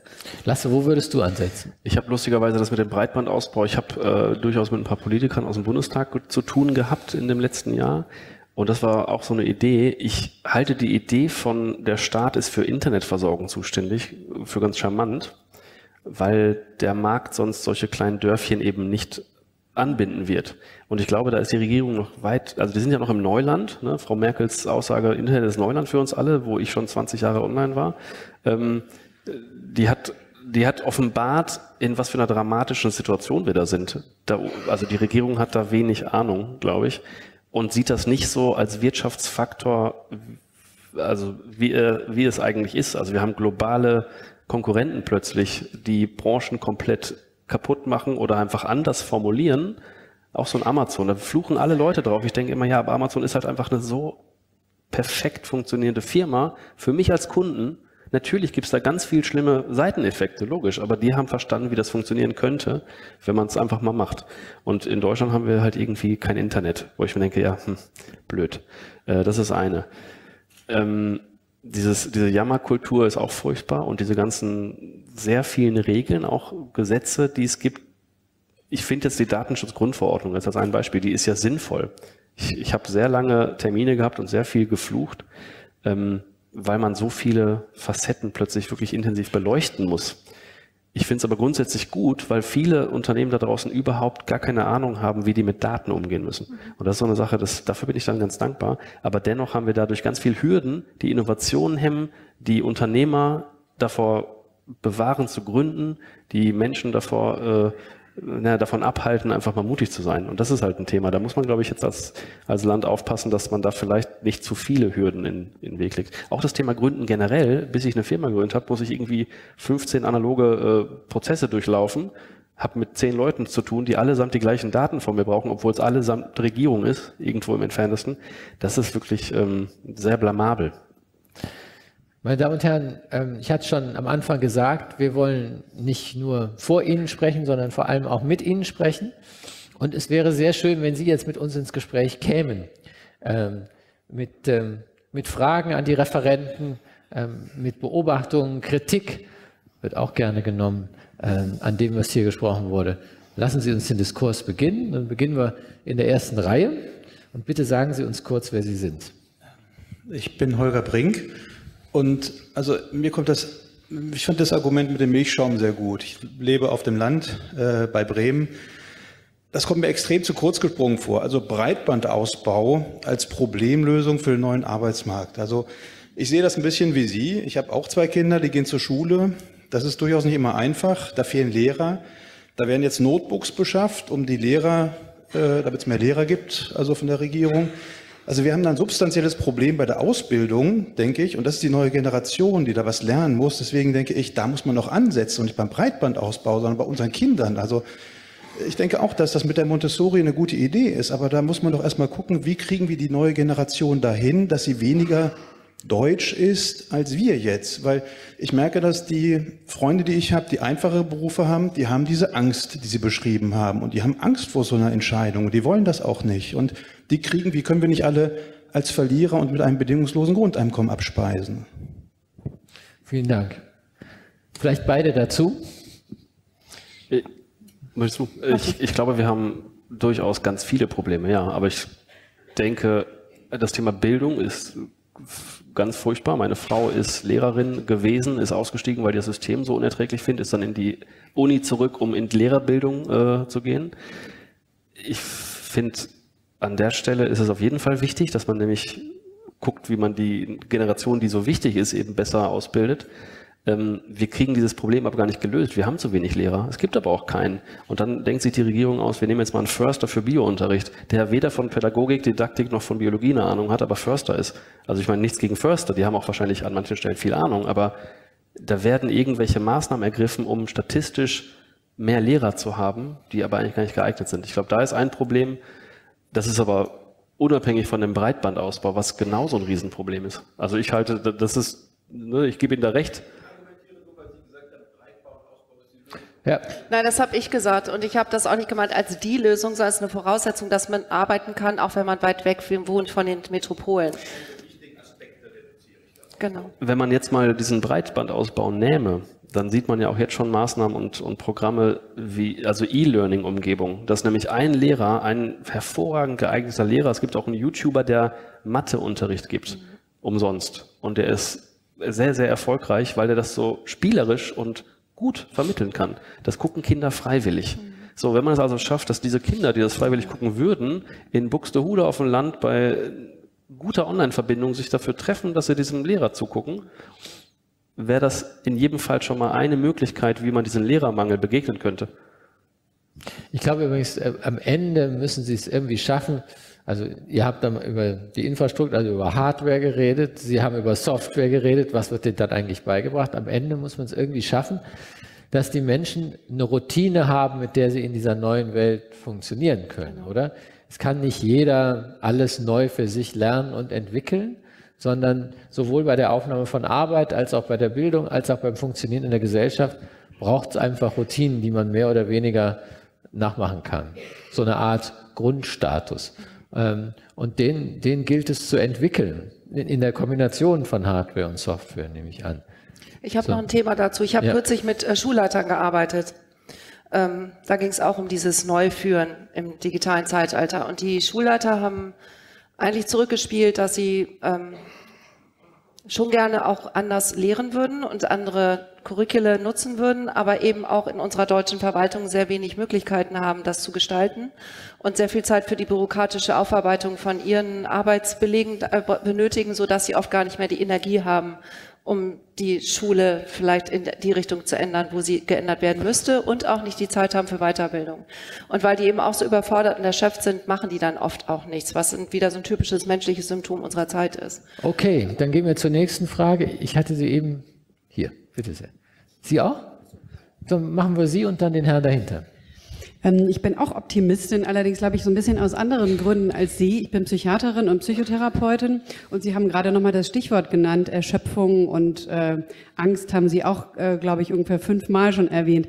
Ähm, wie schätzen Sie das ein? Wir haben mindestens eine Verdopplung der äh, Krankheitsfälle aufgrund psychischer Erkrankungen bezogen aufs Arbeitsleben, also Arbeitsunfähigkeit und natürlich die Erwerbsunfähigkeit. Darüber müssen wir gar nicht sprechen. Das ist eine Verdreifachung in den letzten letzten zehn Jahren. Wir haben eine Verfünffachung äh, der Antidepressiva-Verschreibung. Ähm, wie kriegen Sie das jetzt unter in Ihrem Optimismus? Da bin ich nicht so optimistisch. Und das ist ein großes Thema, womit wir uns auch alle beschäftigen, also die jetzt im digitalen Leben. Und da gibt es ja einige Begriffe zu, dass, dass wir, die digital sind und selber Offline-Zeiten verschreiben und uns die auch geben und auch nicht sagen, ich bin jetzt mal offline, sondern man ist dann eben nicht online und man ist dann eben nicht erreichbar und auch im, innerhalb des Arbeitskontextes, dass jede Person sich sagt, so viel kann ich leisten und jetzt brauche ich mal eine Pause. Und der Begriff Digital Detox ist ja vielleicht dem einen oder anderen bekannt, dass man das lebt und dass es in Ordnung ist, dass man sein Handy nicht immer bei sich hat, sondern es einfach mal weglegt oder auch ausmacht. Das Thema Muße wird auf einmal ganz wichtig und bestimmt. Leute haben wieder gerne Langeweile. Das heißt, diese ganzen Werte aus meiner Kindheit spielen auf einmal wieder eine große Rolle, weil sie uns davor schützen, uns zu überfordern. Und äh, deshalb bin ich auch so für dieses New Work, weil diese neue Arbeit, so wie ich sie mir vorstelle, baut das alles ein. Dass wir nicht getrieben sind von den technischen Möglichkeiten, dass wir uns nicht treiben lassen, weil man uns immer erreichen kann, sondern auch wenn ich erreichbar bin, muss ich nicht sofort reagieren, sondern ich reagiere dann, wenn es zu mir und meinem Gesundheitslevel passt und wie es verabredet wurde in meinem Team. Und das, deshalb das Thema Regeln und Prinzipien, wie wir arbeiten wollen miteinander, wie schnell antworte ich für eine E-Mail, wie schnell muss ich auf was auch immer reagieren, das müsste man heute in Teams aushandeln. Und das ist ja im Grunde auch das, das ähm, sagen wir mal, das Problem, auf das äh, Lasse Reingans versucht hat, eine Antwort genau. zu finden. Ne? Genau. Ähm, mehr Freiräume ich zu schaffen. Ich bin da auch ganz dankbar, dass dieses Thema Achtsamkeit plötzlich irgendwie salonfähig wird, dass man plötzlich mhm. erlaubt, dass Menschen auf sich Acht geben. Mhm. Weil ich nämlich da genau sehe und was Sie beschrieben haben, ich habe unzählige Burnouts gesehen und mitverfolgt, auch Suizide gesehen, weil die einfach überfordert waren. Und auch keinen Ausweg mehr gesehen haben. Und das ist so eine Sache in der Gesellschaft, die ich persönlich überhaupt nicht ertragen kann. Dieser vermeintliche Druck, wir müssen alle ständig mehr leisten. Und dieser Aktionismus, dieses Hamsterrad, das von innen aussieht wie eine Karriereleiter, ist, ähm, ist halt katastrophal und wird so gesellschaftlich getragen, dass alle immer performen müssen. Dabei ist, wie ich das für mich selber erfahren habe, in so einem Fünf-Stunden-Tag, der wirklich ja auch absurd klingt vielleicht, habe ich aber für mich erfahren, wenn man oder wenn, also wenn ich für mich den Fünf-Stunden-Tag geschafft habe, habe ich in dieser Zeit der fünf Stunden enorm viel Output gehabt und in der Zeit danach auch enorm gute und mich voranbringende Gedanken und äh, Erkenntnisse gewonnen. Das heißt, ich glaube, wenn man immer getrieben ist im Job und das eben gesellschaftlich auch so gewünscht ist, vermeintlich, dann kann man, also erstmal brennt man schnell aus und ich glaube, man kann gar nicht so guten qualitativ hochwertigen Output liefern, wie wenn man sich mal ab und zu rausnimmt. Es gibt so ein chinesisches Sprichwort, wenn äh, du es eilig hast, geh langsam. Und da äh, denke ich viel drüber nach gerade. Bitte sehr. Ja, Dieter Traut ist mein Name. Ähm, wir hatten vorhin eine Einschränkung der, ich sag mal, diffusen Angst auf die sogenannten einfacheren Berufe. Ich glaube, das stimmt nicht. Und meine Vorrednerin hat das ein Stück weit auch deutlich gemacht. Ich glaube, diese Angst ist mindestens im Mittelmanagement in den größeren Firmen ganz genauso vertreten. Der Druck wird dort enorm gespürt. Sie haben das gerade nochmal geschildert. Äh, der, dann, der Druck, der dann zum Burnout führt. Wir werden, äh, wenn wir Ihrer Richtung folgen, wenn es dorthin geht, werden Sie als eine der großen Hindernisse die Strukturen in den großen Unternehmen, wie bei Hapag-Lloyd und bei anderen Firmen haben und wie die Menschen sich eben in diesen Positionen fühlen, die sie mühsam sich erarbeitet haben. Ich kann ihm nur zustimmen. Also man ist dann endlich Chef, hat sein Eckbüro und ein Auto und alle möglichen Vorteile und auf einmal soll man New Work leben. Das frustriert ganz viele Menschen. Und viele Menschen haben auch Angst, Arbeit zu verlieren oder sie haben Angst, Einfluss zu verlieren. Und deshalb ist es ja aus meiner Sicht so wichtig, dass ähm, Führungskräfte verstehen, dass ihre Reputation und ihre Bedeutung nicht abhängig ist von Statussymbolen und von dem, was sie darstellen auf ihrem jeweiligen Karrierelevel, sondern von dem, wer sie sind und was sie können. Und das ist dieser New Work-Gedanke. Und dann geht es auf einmal um das Selbst, wer ich bin und wo ich bin. Und ähm, in diesem ersten Buch Netzwerk schlägt Hierarchie habe ich ja immer von diesem Chef der Hölle gesagt, gesprochen, der sich in seinem Büro verkriecht und sich äh, nicht traut, unter die Menschen zu gehen, weil er Angst hat, dass man ihn entdeckt, weil er das alles nicht kann und nicht will und am liebsten eigentlich gar nicht da sein möchte. Und dann sagen wir immer, bitte geh doch in die neue Welt. Und das wird ein bisschen spielerisch beschrieben. Aber was Sie schildern, ist genau das größte, größte Hemmnis. Und fast alle Manager, die ich kenne, haben Angst. Alle. Auf allen Ebenen. Bis ganz, ganz oben. Lasse, darf ich dem noch mal eine kurze, Lasse? Wenn ich dich Hi. sehe. Darf ja, ich dem, ja. äh, dem noch mal eine kurze Frage hinterher schieben äh, in dem Zusammenhang? Wir reden über zwei ganz unterschiedliche Ängste und Drucksituationen. Die eine ist, wir arbeiten viel zu viel und haben die Sorge, dass wir der Sache nicht gerecht werden. Und die andere, es gibt keine Arbeit mehr. Ähm, welches ist die realistischere Sorge? Nicht heute, sondern für die Zukunft? Also es ist nicht, dass wir, dass uns die Arbeit ausgeht. Ich glaube, das ist keine, das braucht uns nicht Sorgen. Mhm. Okay, ähm, die nächste Frage, Frage, kommt, kommt von hier. Ich Bitte? Hier auch eine. Darf Wunderbar. Meine Frage, meine Frage ist, diskutieren wir nur, was für eine intellektuelle Oberschicht, die auch individuell ist? Das ist doch in der Gesellschaft heute nicht, nicht sehr angesehen. Jeder möchte doch möglichst gleich sein. Äh, jedenfalls in, in den Kreisen, äh, von denen ich äh, sehr viel höre.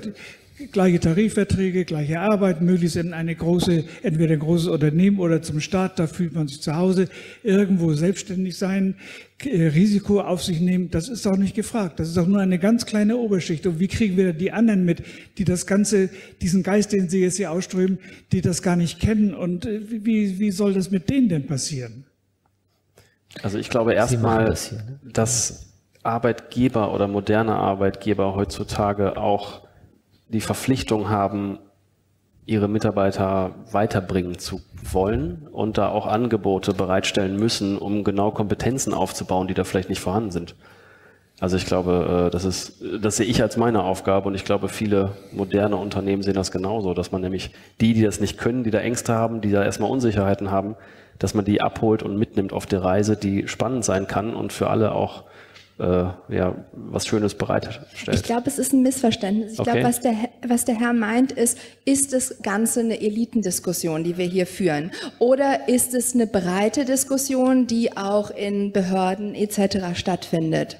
Und das also es, ist keine, es ist keine Elitendiskussion, im Gegenteil. Also ich arbeite in Projekten, wo wir gerade auch darüber nachdenken, wie man das sogenannte Blue Collar und White Collar Konzept zusammendenkt und Räume schafft, wo die sich begegnen dürfen und wie könnten diese Anreize sein, dass man Interesse hat, sich auch auf unterschiedlichen Bildungsniveaus und unterschiedlichen anderen Niveaus zu treffen. Also im Gegenteil, es, genau, es geht eigentlich genau darum, diese Krankheiten unserer Zeit, ähm, dass Menschen miteinander nicht können, weil sie sich gar nicht mehr erleben und erfahren und auch voneinander entfernt halten, dass wir das wieder lernen, miteinander umzugehen. Und das ist auch so diese Art von Diversity, die über Hautfarbe und, und Religion und so weiter hinweggeht, sondern dass wir uns auch in unserer Vielfalt innerhalb der deutschen Gesellschaft wieder kennenlernen und begegnen können. Also, das ist natürlich eine Elitendiskussion, ähm, selbstverständlich. Die Hoffnung ist, dass die, dass die Elite sozusagen ausstrahlt, dass sozusagen äh, die, die Blaukrägen und die Weißkrägen, ähm, wenn ich das richtig verstehe, ähm, gemeinsam sozusagen in, in so eine äh, bessere Zukunft hinein wachsen. Ähm, ich, war heute, ich war heute Morgen ähm, bei, bei SAP, Deutschlands teuerstem Unternehmen, ähm, hoch erfolgreich, das einzige erfolgreiche Digitalunternehmen, was wir haben in Deutschland. Ähm, denen geht es fantastisch und ähm, die, äh, die sind gleichzeitig dabei, gerade, ich glaube, 15.000 Stellen abzubauen. Also sie bauen an anderer Stelle wieder welche auf, aber bauen 15.000 Stellen ab, vor allem ältere Arbeitnehmer. Das wird alles wunderbar sozialverträglich gemacht, aber nichtsdestotrotz. Das heißt, selbst da, wenn man, wenn man die Vorstände da mal so ein bisschen, bisschen intensiver befragt, ist klar, es ist keine, es ist kein einfaches Zukunftsszenario, sondern ähm, die, die, die Arbeit geht nicht aus, aber die Arbeit ist da für einen, wie Sie selber sagen, für einen anderen Typus von Arbeitnehmer. Und die Leute, die dann, sagen wir mal, ihren Typus schon ausgebildet haben, der jetzt aber nicht mehr passt, die haben ein Riesenproblem. Ja. Ja. Ähm, wie immer im Strukturwandel. Und ähm, dieses Problem kann dann auch gesellschaftlich werden, ja. natürlich irgendwann.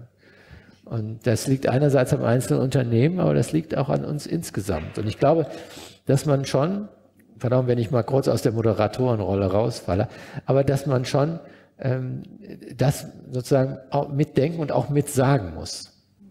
Ähm, habt ihr ja auch. Aber dass, dass man das immer wieder mit sagen muss. Ähm, es geht gar nicht darum, dass, dass das nur dass das nur die Elite der, der, der Hochverdienenden ist. Es gibt unter den, den jungen Leuten, ähm, die, die auch handwerkliche Dinge verrichten, eine Menge, die damit glänzend umgehen können. Aber es gibt eine, eine, ein Segment der Gesellschaft ähm, über gewisse Einkommensgruppen hinweg, für das das ein Riesenproblem darstellt. So, wir haben jetzt erstmal die Dame da hinten. Ja, genau. Und dann Doris Henn ist mein Name. Ich habe eine ganz andere Frage, eher was Grundlegendes. Was ich immer wieder wahrnehme, ich arbeite selber in einer globalen Firma, dass wir Deutschen uns so schwer damit tun, was Neues einfach auszuprobieren. Ja? Meine Kollegen in Polen oder Frankreich oder wo auch immer sie sind, die sagen immer, oh, ich probiere mal, ich gucke mal. Und wir sagen immer, nee, geht nicht. Was haben Sie für eine Erfahrung? Also wie kriegen, das ist für mich ein gesellschaftliches Problem. Wie kriegen wir das in den Griff? Weil ich glaube, sonst werden wir auch von den anderen überholt. Weil diese Neugier ist für mich etwas, was, was ganz wichtig ist, um sich in der Zukunft der Arbeit zu stellen. Aber das fehlt mir. Ja. Also die Frage ist, gibt es hier, gibt's hier keine Experimentierfreude? Gibt es hier keine Freude daran, Zukunft auszuprobieren und dann zu entwerfen? Experimentieren heißt ja auch gleichzeitig das Scheitern äh, zu akzeptieren. Und ich glaube, wer hier scheitert in Deutschland, der ist erstmal ganz, ganz weit am Rand. So, also man wird ja sofort, äh, man kriegt plötzlich dann keinen Job mehr, man ist dann plötzlich der Buhmann und das ist das Problem, was man lösen müsste. Ich habe aber keine leichte Antwort darauf, weil das ist gesellschaftlich einfach hier gerade Standard in Deutschland.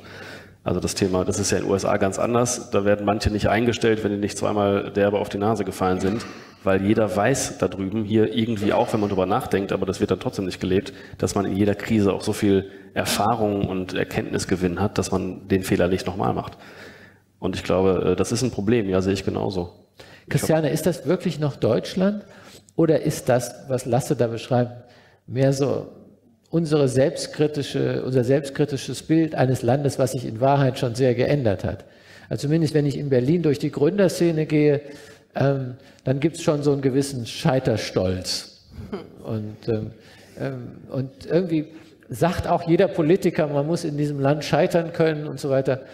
Ähm, Klammer auf, als Politiker kann man das auch, ist kein Problem. Aber ähm, die, Klammer zu, ähm, aber ist es noch Deutschland oder ist es nur unser altes Zerrbild? Also aus meiner Sicht ist die, äh, die Spaltung unserer Gesellschaft mehr entlang dieser Linie, bin ich bereit dazu zu lernen und zu scheitern und das als ein Teil des Lernprozesses zu sehen was man neudeutsch schön Growth Mindset nennt, also das Denken, was in die Richtung Erweiterung geht? Oder gehöre ich zu den Menschen, die sagen, ich weiß schon alles, ich kann alles, ich habe meine Erfahrung gesammelt, ich habe jetzt ein gewisses Alter erreicht oder einen gewissen, gewissen Erfahrungshorizont und jetzt möchte ich dafür gefeiert und in Ruhe gelassen werden. Und für mich sind die alle sozialen ähm, Probleme, die wir in Deutschland haben, an der Linie und übrigens auch in Amerika. Also Trump sind für mich die, die denken, dass sie alles wissen und können. Und die dazulernen wollen, sind die, die sagen, okay, die neue Welt ist anders, wir müssen Dinge ausprobieren. Und ich, ähm, in Deutschland sind wir noch nicht so viele, die Dinge gerne ausprobieren. Gut, in Berlin gibt es einige, uns beide vielleicht und noch viele andere, aber es ist immer noch ein Problem, weil wir die gesellschaftliche Verzielung noch nicht geschafft haben in Richtung, dass es okay und gut ist, Deutsch ähm, äh, eben auch mal zu scheitern zu lernen. Und da sehe ich auch ein bisschen, ehrlich gesagt, ich bin ja nur Journalistin gewesen, ich bin es aus vielen Gründen nicht mehr, ich habe investigativ gearbeitet und irgendwann war das dann nicht mehr bezahlt und nichts mehr wert. Es liegt auch ein bisschen an unserer medialen Darstellung, weil wir eben es auch immer gut finden, wenn alles gesichert ist und es ist auch wichtig, dass wir ein festes Einkommen haben und Geld und Prestige haben und viele von diesen Menschen, mit denen wir zu tun haben, die sagen, ich brauche nur genug Geld, um einen vernünftigen Lebensstandard zu haben, im Sinne von, dass ich zurechtkomme. Das ist gar kein Wert mehr, dass ich jetzt sehr reich sein muss, um eine hohe Reputation zu haben oder viel besitzen muss, um besonders gut in der Nachbarschaft angesehen zu werden. Auch da ist ein Umdenken. Ich meine, in Wahrheit ist es ja so, wir wollen ja gar nicht wirklich Amerika sein, oder? Nö. Wir wollen ähm, keinen Präsidenten Trump haben. Wir wollen, dass alle Leute eine Gesundheitsversicherung haben. Ähm, wir wollen auch den Umweltfrevel nicht, den, also die ganzen, ähm, so mal, Extreme, die es in dem Land, die wollen wir eigentlich nicht haben. Und die, die Frage, die sich daraus ergibt, ist ja, kann man das eine ohne das andere haben? Kann man diese, diese Freiheitskultur haben, ähm, ohne aber diese doch sehr abstoßenden gesellschaftlichen Umstände? Bewegen wir diese, diese Frage im Herzen oder wollt ihr die schon beantworten? Weil hier gibt es Wir nehmen gerne noch eine mit. Hier, hier vorne ist übrigens ähm, ja, auch jemand. Auch gleich. Hier ja, gibt's wunderbar. auch Ja, mein Name ist Angelika Horn und äh, es geht jetzt hier um die Zukunft der Arbeit und ich denke oder ich frage mich immer, ob wir als Gesellschaft auch an alle Gruppen äh, gleichermaßen äh, denken. Und zwar, wir sprechen hier über die äh, äh, White-Collar-Workers hier äh, sozusagen, die große Schwierigkeiten haben, sich also mit den neuen Technologien also äh, zurechtzufinden oder darin zurechtzufinden. Ähm, ich denke mir, es gibt eine ganze Menge Arbeit, die wird nur von der Gesellschaft nicht so akzeptiert. Und zwar, so denke ich an die Handwerker. Ich warte schon seit drei Monaten auf einen ähm, Klempner und es ist, wird mir immer wieder gesagt, also sie haben nicht genügend Leute. Und ähm, in, also ich bin äh, Lehrerin gewesen und äh, alle Eltern achten darauf, dass ihre Kinder also Abitur machen und in diese White-Collar-Workers-Jobs hineinkommen. Äh, und, äh, aber keiner denkt daran, dass also auch im Handwerk also, also ein großes Potenzial äh, vorhanden ist. Und wir als Gesellschaft äh, schauen ein wenig herab. Mhm. Er ist Klempner, er ist äh, Schuster oder äh, Maler oder so weiter. Und da denke ich mir, haben wir auch eine gewisse Verantwortung. Mhm. Wie denken Sie dazu? Ja. Ich glaube, dem können wir alle einfach zustimmen, oder? Und, Absolut. Also ich sehe Hand, also bitte sehr. Achso, ich bin Karin Blasius. Ähm, ich habe zwei Sachen. Einmal denke ich, Deutschland muss nicht unbedingt so werden, dass wir jetzt die perfekten Innovatoren sind, weil ich glaube, wir sind vielleicht im Schnitt ein bisschen mehr ingenieurmäßiger. Das heißt, wenn Erfindungen da sind, setzen wir sie vielleicht besser um und können dadurch auch sehr viel erreichen. Und Patente haben wir auch unheimlich viele. Also man kann auch anders rangehen. Man kann ein bisschen vorsichtiger sein. Man muss nicht vorne an der Welle mitschwimmen, sondern wenn was gut ist, dann setzt man das vernünftig um. Und das ist auch eine Möglichkeit zu wirtschaften. Also man muss es nicht alles jetzt mitmachen. Wobei ich denke, es gibt auch genügend Leute, die gerne innovativ sind und was Neues ausprobieren und die soll man auch lassen. So das eine, das ist das eine. Und das andere finde ich, ähm, es gibt wirklich eine ganze Menge Leute, die sehr prekär, prekär arbeiten oder die in äh, Zeitarbeitsfirmen arbeiten oder die sich selbst verkaufen müssen und nicht immer oder auch in Jobs arbeiten, wo sie wissen, dass das wegrationalisiert wird. Und ich wünsche mir ja wirklich, dass wir ein bedingungsloses Grundeinkommen haben, weil das einfach diese Angst so ein bisschen wegnimmt. Jeder Mensch kriegt sagen wir mal 1000 Euro, das wird umgelegt über die Steuern und es ist auch nicht so, dass Bedürftige das kriegen, sondern jeder. Und dann hat man ein bisschen mehr Freiraum, wenn man weiß, man ist in einer schwierigen Situation, dann hat man nicht diese Angst, diese grundlegende Angst so, sondern kann gezielter entscheiden, ob man sich weiterbildet und was man dann noch machen kann. Das wäre mir unheimlich wichtig, gerade in solchen Zeiten wie jetzt. Lass wir gleich, lass wir gleich über das Grundeinkommen reden. Ich will vorher noch mal zu der ersten Bemerkung. Die Frage, die dahinter steht, ist ja folgende. Wir, wir, haben einen Ansatz als Deutschland, der hat uns jetzt zuletzt ganz, ganz, also sowohl im Wirtschaftswunder nach dem Zweiten Weltkrieg, als auch heute, als auch schon während der Gründerzeit im vorvergangenen Jahrhundert ganz gut getan, also hat uns Erfolg gebracht, ähm, stark Ingenieur getragen und ähm, in der Tat nicht immer die Ersten seiend, ähm, aber dafür die, die das am, am weitesten äh, äh vorantreiben. Und die Frage ist ja, ist heute, was häufig behauptet wird, ist alles anders in dieser industriellen Revolution? Oder können wir mit diesem Modell und mit diesen Stärken weiterhin reüssieren? Es ist unsere DNA. Ich finde, da sollten wir auch bei bleiben. Wir sind nun mal ein bisschen gründlicher und gucken genauer hin, ein bisschen risikoscheuer. Schadet ja nicht. Schade finde ich nur, wenn wir uns ganz verweigern. Na, also Schadet so an manchen Stellen schon. Entschuldigung. Ähm, Bitte nicht entschuldigen, wenn ihr ja, endlich mal. Ja, endlich geht's ab. Jetzt. Erst schon mal. The fight is on. Äh, Ingenieurskultur, schön und gut. Jetzt haben wir gerade die E-Mobilität, ob sie gut ist oder nicht, haben wir verschlafen. Die scheint ja gerade Trend zu sein. Es gibt bei mir in der Region so ein paar äh, Haushaltsgerätehersteller, die vielleicht dem einen oder anderen bekannt sind. Äh, wenn eine Waschmaschine rauskommt, dann braucht diese Waschmaschine sieben Jahre von der Idee, ich habe eine gute Idee für eine neue Waschmaschine, bis zu, ich bin auf dem Markt. Jetzt gibt es aber Kulturen und Länder, die nicht so ingenieursgetrieben sind wie wir, die wir wollen keinen Fehler machen, die sagen, ey, meine Waschmaschine kommt nächstes Jahr raus. Das Problem bei Waschmaschinen oder bei anderen Geräten, so wie VW jetzt 36 Milliarden in ihre neue Modellpalette der E-Autos stecken wird, darum geht's ja gar nicht. Der Kunde will jetzt das, was jetzt gerade cool ist, will er nächstes Jahr spätestens in der Hand haben. Das heißt, wenn dann der Hausgehaltsgerätehersteller sechs Jahre länger braucht, dann ist das halt leider sechs Jahre zu spät. Und da ist die Gefahr. Deswegen glaube ich, wir können damit nicht mit unseren alten Tugenden langfristig Erfolg sichern. Wir müssen verdammt nochmal damit brechen und viel schneller Dinge ausprobieren, damit der Haushaltsgerätehersteller aus meiner Region vielleicht zukünftig noch Waschmaschinen verkaufen kann. Weil ich glaube, Samsung Waschmaschinen können auch waschen. Die können auch ziemlich cool waschen, weil die sprechen jetzt mit meinem Handy und nächstes Jahr vielleicht mit meinem Auto. Für mich ist Ingenieurskunst aber kein Widerspruch zu schnell. ja, aber wir leben ja in einer, ja, das stimmt, genau. natürlich. Ich bin ein großer Miele-Fan, aber in so einer Wegwerfgesellschaft wie heute, die Samsung kostet halt ein Zehntel, dann kaufen wir halt zehn in der Zeit. Ist ja das Mindset von vielen. Ist nicht mein Mindset, aber das ist das Mindset von vielen. Also ich glaube jedenfalls, dass das eine, eine, entscheidende Frage ist, die auch noch nicht beantwortet ist, ähm, wie weit wir uns ändern müssen, weil, weil wir es mit einer fundamental anderen Welt zu tun haben. Ähm, ich glaube, wir haben jetzt gerade eben ja. übrigens drei Dinge gehört, die alle am Ende sich um Werte und Ethik drehen. Genau. Und da kommt das McGregor-Modell, ob Menschen als schlecht wahrgenommen werden oder als gut.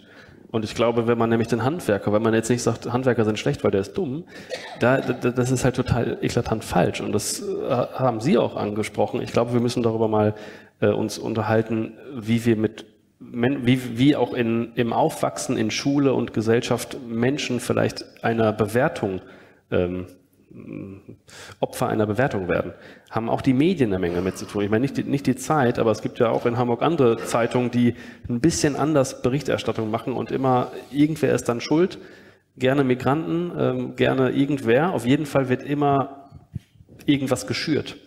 Und ich glaube, wenn man da mal anf anfangen würde und ein bisschen mehr wertschätzend und offen äh, in die Welt gehen würde und wenn wir das als Gesellschaft könnten, dann hätten Handwerker auch keinen schlechten Stand.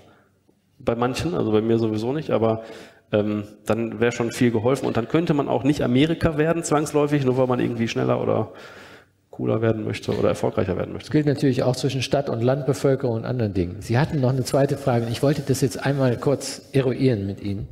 Ähm, und zwar, sorry, aber einen Moment brauche ich noch. Und zwar würde ich gerne, weil es wurde jetzt wieder angesprochen, ich würde gerne einfach mal wissen, wer hier im Saal von Ihnen ein Grundeinkommen haben möchte. Können Sie mal die Hand heben? Bedingungsloses Grundeinkommen. Mhm. Machen wir mal die Gegenprobe. Wer will das nicht? Ja, so 50-50, ne? mal abgesehen von all denen, die sich nicht entschieden haben. Ähm, und, ähm, ich glaube, das ist so ein bisschen auch die unter der Gesamtzeitleserschaft im Moment so die Lage. Ja? Für viele Leute hat es was Faszinierendes und viele fürchten es aber auch, weil es dafür sorgen könnte, dass es nicht mehr genug Anreize gibt, Arbeits- und Sie kennen das alles äh, zu machen. So, die nächste Frage. Hier hinten bitte. Ja, mein Name ist Hans-Georg Konradi. Ich habe in den bis Mitte 2017 30 Jahre lang verschiedene Firmen im Bereich Produktionstechnik geleitet, also ich komme aus diesem eingeschränkten Digitalisierungsbereich Industrie 4.0. Das Wort dürfen Sie teilweise heute gar nicht mehr sagen, dann fliegen Sie schon raus, weil es keiner mehr hören kann. Äh, seit Mitte 2017 äh, leiste ich mir jetzt den Luxus, mich damit zu befassen, äh, warum verflixt nochmal stapeln sich die neuen innovativen Technologien und werden nicht umgesetzt. Und spreche viel auch mit mittelständischen Unternehmen im Bereich Werkzeugmaschinen beim Maschinenbau. Und ich glaube, und da gehe ich auch auf die Frage eben ein, warum sind wir in Deutschland nicht so experimentierfreudig? Ich sehe es nun mal aus der Brille eines Geschäftsführers oder, oder Geschäftsbereichsleiters, der ich nun auch etliche Jahre war, mit allen Untiefen des Alltagsgeschäfts, die wir heute haben. Das Unternehmen können Sie aufbauen, wie Sie wollen. Am Ende des Tages haben Sie irgendwo Investoren sitzen, äh, die interessiert irgendwann die Zahl da unten drunter. Und jetzt stellen Sie sich mal vor, Sie haben eine Frage, Sie haben ein Problem und Sie wissen, da gibt es einen Expertenkreis. Und Expertenkreise gibt es ja nur zuhauf, von der Politik äh, initiiert und so weiter, was Digitalisierung angeht und so weiter, Plattformindustrie 4.0 und so weiter. Und Sie gehen Sie zu den Leuten, da sitzen ein paar Leute und Sie machen den Mund auf und wollen die erste Frage stellen und bevor Sie überhaupt anfangen können, haben Sie schon 25 Antworten gekriegt. So, dann überlegen Sie sich, wie könnte, wie könnte jetzt, wie könnte denn jetzt meine Frage ausgesehen haben, die zu diesen Antworten passt? Und das lassen sie dann auch irgendwann bleiben, weil sie sagen, ähm, das ist nichts für mich. Äh, gehen sie, das sind die Antworten, die ich kriege auch. Gehen Sie mal lieber zu einem großen Unternehmen, da, da, das ist, die sind richtig gut für Digitalisierung. Für uns kleine Unternehmen äh, ist das nichts. Meiner Meinung nach ist das große Problem, wir geben zu viele Antworten. Die, alle Spezialisten in dem Bereich, meistens auch noch aus der technischen Seite heraus, die demografische wird flissentlich mal total vergessen dabei.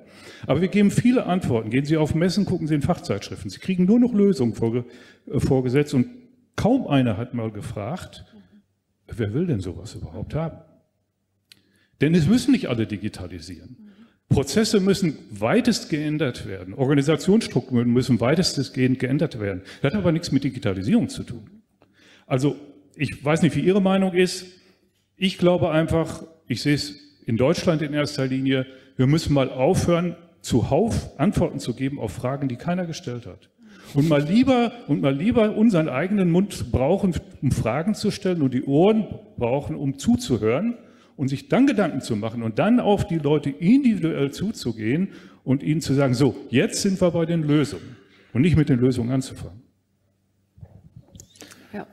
Ich muss sagen, ich hatte Schwierigkeiten, die Frage zu verstehen. Was, was, was vielleicht nur, äh, also ich, ich, ich habe das Thema verstanden, aber ähm, Sie, Sie wünschen sich mehr Offenheit, die jedes Problem individuell sieht. Ja, das, das Problem ist einfach, das war der, der, der Einwand, warum wird weniger experimentiert? Ich glaube, diese Leute sind schon offen. Nur wenn ich mein eigenes Problem in den Antworten und in den Möglichkeiten, die mir da angeboten werden, gar nicht finde, aufgrund der großen Wust der, der, der Angebote, die mir da aufgetischt werden, äh, dann sage ich irgendwann, also ich lasse es lieber, ich mache lieber so weiter wie bisher. Das ist ein Problem, was wir haben. Lasse, kannst du da was mit anfangen? Auf jeden Fall, ich kenne äh, die Realität auch.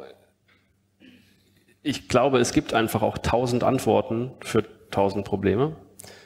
Ähm, ich weiß aber ganz, also ich, ich kenne das, ich sage jetzt, das ist jetzt werblich vielleicht, wir machen das genau anders, wir hören erstmal zu, weil jedes Problem total individuell ist. Und wenn man das Glück hat, Experten zu finden, die dazuhören können und dann auch noch nicht irgendwie dann doch das Produkt von der Stange verkaufen, dann hat man natürlich, äh, dann, dann ist es ganz gut, aber da draußen gibt's jede Menge schwarze Schafe, die halt immer Schema F abspulen und äh, tausend Antworten schon haben und wissen, was der Kunde braucht, obwohl der Kunde gerade was ganz anderes erzählt hat. Also ich stimme Ihnen völlig zu, dass das, glaube ich, ganz oft ein großes Problem ist. Besonders im Mittelstand. Dahin. Mein Name ist Klaus Tormelen. Ich äh, beschäftige mich mit meinem mittelständischen Unternehmen mit dem Verschweißen von Schienen. Also ich habe äh, hauptsächlich Schweißer im Geschäft. Und äh, ich muss sagen, äh, diese Schweißer müssen zum Teil nachts raus, am Wochenende raus. Und die brauchen ungefähr müssen mindestens 20 Stunden arbeiten, um eine Stunde Rechtsanwalt äh, bezahlen zu können. Hier passt was nicht zusammen. Und ich merke in den letzten zwei, drei Jahren, dass das auch nicht mehr so funktioniert. Ich bekomme keine Schweißer mehr. Ich kaufe mir Schweißer aus Kroatien ein und was weiß ich, wo ich sie alle herkriege, aber nicht mehr aus Deutschland. Die Löhne sind in den letzten drei Jahren um 70 Prozent angestiegen. Und das merken wir im gesamten Handwerkerbereich. Die Handwerkerleistung wird teurer, was ja auch richtig ist, im Verhältnis zu vielen intellektuellen Berufen. Und insofern äh, habe ich gar keine Angst um diese Mitarbeiter. Die brauchen sich keine Sorgen zu machen, dass Maschinen ihnen irgendwas wegnehmen. Sie werden andere Jobs finden. Und auch wenn sie äh, sich eine Arbeitnehmerstruktur angeschafft haben, Sie gehen deshalb nicht in einen anderen Beruf, weil der zu wenig bezahlt wird. Aber auch das wird sich ändern, Pflegeberufe und so weiter. Also ich denke, die Politik muss diese gesellschaftliche Veränderung einleiten und äh, dann wird der Markt das auch mitrichten. Danke sehr. Also werden, verschieben sich per Markt, ist ja die Idee, die Wertigkeiten der Arbeit so, dass die Leute wieder an die richtigen Plätze kommen und eben auch das Handwerk noch wieder an, an äh, Attraktivität gewinnt. Ist das so? Also für mich ist ja die Digitalisierung nur der Vorwand dafür, nochmal alles auf den Prüfstand zu stellen. Und ich bin auch bei Ihnen. Es geht gar nicht darum, alles zu digitalisieren, sondern bevor man das tut, erstmal zu gucken, was taugt dafür und was nicht. Ich bin da hundertprozentig Ihrer Meinung. Und in dem Moment, wo ich die Digitalisierung nutze, um mir Prozesse und Unternehmensführung anzusehen und feststelle, die Gehältergefüge stimmen nicht mehr, die soziale Ungleichheit ist zu groß, dann könnte man die Digitalisierung nutzen, um auch da was zu machen. Es gibt ja jetzt ganz viele Ideen zu New Pay, also neue Bezahlmodelle. Und da wird auch genau das alles berücksichtigt, dass man eben nicht mehr nach Status geht oder nach Ausbildung, sondern dass man vielleicht nach Output geht oder wie viel wie viele Menschen beteiligt sind oder wie, wie gut man in der Lage ist, mit vielen, vielen anderen Menschen, die unterschiedliche Kenntnisse und Fähigkeiten haben, zusammenzuarbeiten. Das heißt, die Erfolgsparameter könnten möglicherweise anders gedacht werden. Und da gibt es sehr, sehr viele Ideen und Modelle zu. Und deshalb für mich ist die Digitalisierung etwas Positives, weil sie uns zwingt, uns mit unserem jetzigen Arbeitsleben auseinanderzusetzen. Und dass es natürlich irritierend ist und Menschen stört, kann ich verstehen, weil mir geht das auch so, dass man Angst hat, normal. Aber sich von dieser Angst hemmen zu lassen, finde ich schade. Und da ist eben, sind wir Einzelne gefragt, jeder für sich, die Politik, aber auch wir als Gesellschaft. Ähm, wer immer, wo geht es jetzt hin, das Mikro? Sie, Sie haben jetzt eine wahnsinnige Verantwortung. Also ich will Sie da nicht unter Druck setzen. Ja. Aber es ist die letzte Frage. Ähm, ja, also mein Name ist Lars Kummer. Ich äh, arbeite hier bei Hapag Lloyd und äh, wir sprechen jetzt die ganze Als Zeit. Als was, wenn ich fragen darf? Äh, ich bin in der IT, äh, bin seit 20 Jahren hier. Ähm, in der IT bemerkt man Veränderungen ja noch sehr viel deutlicher, als wenn ich jetzt, sage ich mal, ein, ein äh, Ladungspapier oder sowas schreibe. Das bleibt im, im Vergleich ja relativ konstant. Aber wir sprechen ja die ganze Zeit hier von Veränderungen, wie man darauf reagiert und äh, die Angst, die man hat, wenn man diesen Veränderungen nicht folgen kann. Und ähm, ich erlebe hier eigentlich immer mit, oder jetzt nicht nur hier in, dem, äh, in unserer Firma, aber auch in anderen Firmen ja, dass man bei Veränderungen sich immer auf Experten, Berater stützt, ähm, die einem dann einen guten Tipp geben und sagen, also ihr müsst das jetzt heute so und so machen und damit eigentlich letztendlich die Leute disqualifizieren, die vielleicht 10, 20 Jahre schon in dem Job sind, mal einen Beruf gelernt haben, studiert haben, aber dieses neue Wissen eigentlich ja noch gar nicht haben. Und es wird eigentlich nie gesagt, also pass mal auf, ähm, wir, wir nehmen diese Veränderungen, die ja tagtäglich zu spüren sind, die nehmen wir mal, äh, die geben wir an unsere Mitarbeiter mal weiter oder sagen oder fragen unsere eigenen Mitarbeiter mal. Also es gibt ja immer so dieses, dieses Modell, ich suche mir einen Experten, frage, wie es geht, und das wird so umgesetzt. Ich frage ja in den seltensten Fällen mal die Leute selber, die, die eigentlich die Fachleute ja sind, sag ich jetzt mal, an, an der Arbeit. Und äh, ich weiß, über Habak-Leute hier arbeiten so viele Leute mit den unterschiedlichsten Qualifikationen und Ausbildungen. Äh, ich kenne das noch von früher, äh, ich war früher bei Dow Chemical, da gab es so Qualifikat, äh, äh, Quatsch, ähm, Qualitätszirkel, wo gesagt wurde, wir haben ein Problem und da wurde aus allen Ecken wurden Leute zusammengesammelt, die einfach Lust und noch Ahnung von dem Thema hatten und die relativ schnell zu Lösungen gekommen sind und sich auch gegenseitig befruchtet haben, sich gegenseitig auch äh, ja, Wissen vermittelt haben.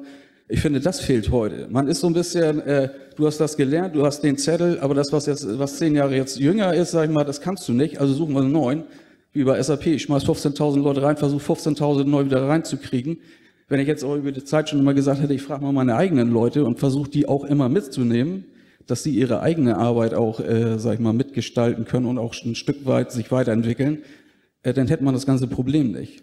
Und noch einmal zu dem Grundeinkommen. Äh, ich habe neulich mal äh, gesagt, wenn wir, wenn ein äh, jemand das Geld geben würde, was ich hier verdiene, ohne dass ich irgendwas machen würde, würde ich wiederkommen oder würde ich nicht wiederkommen?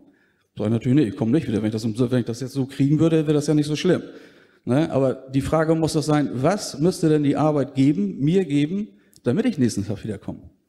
Ne? Also das ist ja das, was ich, ich kann mich mit einbringen, ich kann meine Ideen verwirklichen, kann, ich kann mit anderen Leuten zusammenarbeiten. So, dieser soziale Touch, das braucht man ja irgendwo alles. Also das wollte ich nur mal sagen. Also es wird immer viel von oben einfach runter diktiert und auch viel einfach vorgegeben. Aber es werden eigentlich die eigenen Leute ganz selten gefragt. Ja.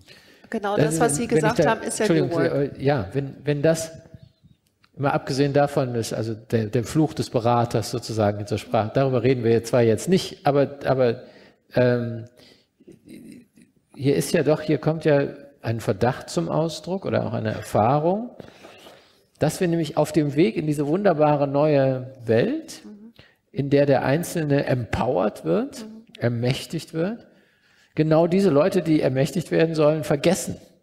Kommt das häufig vor? Ähm, aus meiner Sicht ist es genau anders. Alles, was Sie geschildert haben, steht ja für New Work.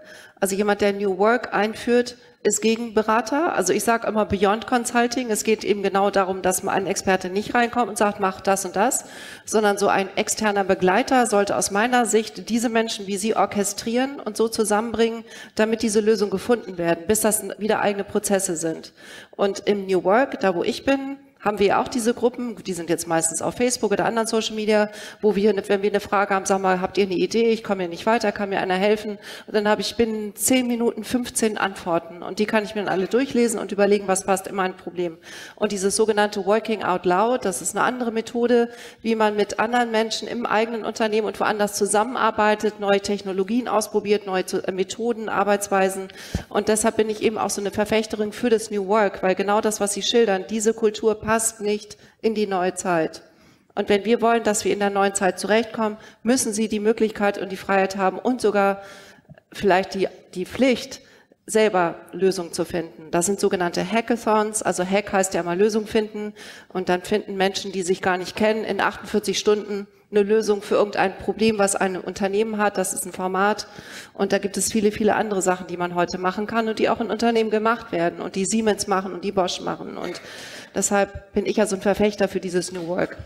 Lasse, äh, der, der, der Kernsatz ist ja hier, hättet ihr uns doch mal gefragt. Ja? Ihr hättet das alles viel, viel besser und billiger haben können genau. und uns auch noch glücklich machen können. Genau. Ähm, du hast es ja gemacht, du hast gefragt. Warum ist es anscheinend in größeren Organisationen so schwer? Ich glaube, es hat ganz viel wieder mit Angst zu tun. Weil wenn man einen externen Top-Berater kauft, genauso wie man zu den Großen geht für Digitalisierungslösungen, ja. dann hat man erstmal nichts falsch gemacht. Dann kann keiner später sagen, wie konntest du denn mit genau. den Mitarbeitern da vorne reden? Die haben doch gar keine Ahnung. Die machen doch jeden Tag hier am Fließband den hier. Deswegen, das, das Angstthema spielt da, glaube ich, eine große Rolle. Und ich habe, mir war durchaus bewusst, dass ich ziemlich angstbefreiter agiert habe. Also ich habe auch extrem wenig Angst. Ich weiß gar nicht warum. Ich habe irgendwann aufgehört, äh, mich dazu sorgen, ob das doof ist oder nicht. Ähm, wundert mich manchmal auch, aber ich glaube, das Beschriebene ist ein Angstthema. Mhm. Und auch ein, und auch ein Menschenbildthema. Ne? Weil man, ich gehe erstmal davon aus, dass die Leute, die jetzt bei mir im Team sind, die wollen das bei mir machen, die haben da Lust zu und die haben auch eine Menge Kompetenzen. Deswegen kommen Praktikanten, sind auch sehr irritiert, wenn ich denen wirklich Aufgaben gebe, wo die auch mit Kunden interagieren müssen oder mit äh, naja, mit Menschen in dem Namen von unserem Unternehmen. Weil die denken, ey, ich bin erst 20, ich weiß doch noch nichts. Und ich denke so, du bist aber schon ziemlich cool, mach das mal. Mhm. Viele Grenzen müssen wir in unserem Denken noch einreißen ähm, und ähm, viele äh, Befürchtungen überwinden anscheinend, ja, damit, ähm, damit sich diese Praxis ausbreiten kann und zwar über die Milchschaumelite hinaus. Ähm, und ähm, das ist natürlich kein in dem Sinne befriedigendes Ergebnis. Das kann es auch nicht sein, meine Damen und Herren, sondern hier ist der Weg das Ziel, hier ist der Diskurs, Diskurs das Ziel. Und wir hoffen einfach, dass Sie auf dem Wege schon mal ähm, eine Reihe von, von Anregungen, neuen Gedanken und vielleicht auch Wegweisungen mitgenommen haben. Ich habe jedenfalls viel gelernt. Ähm, es gibt jetzt noch einen, einen, kleinen Umtrunk draußen, da können wir weiter lernen voneinander. Und ähm, bis hierhin jedenfalls ganz, ganz herzlichen Dank fürs Mitmachen und Zuhören. Dankeschön. Dankeschön. Dankeschön. Sehr schön.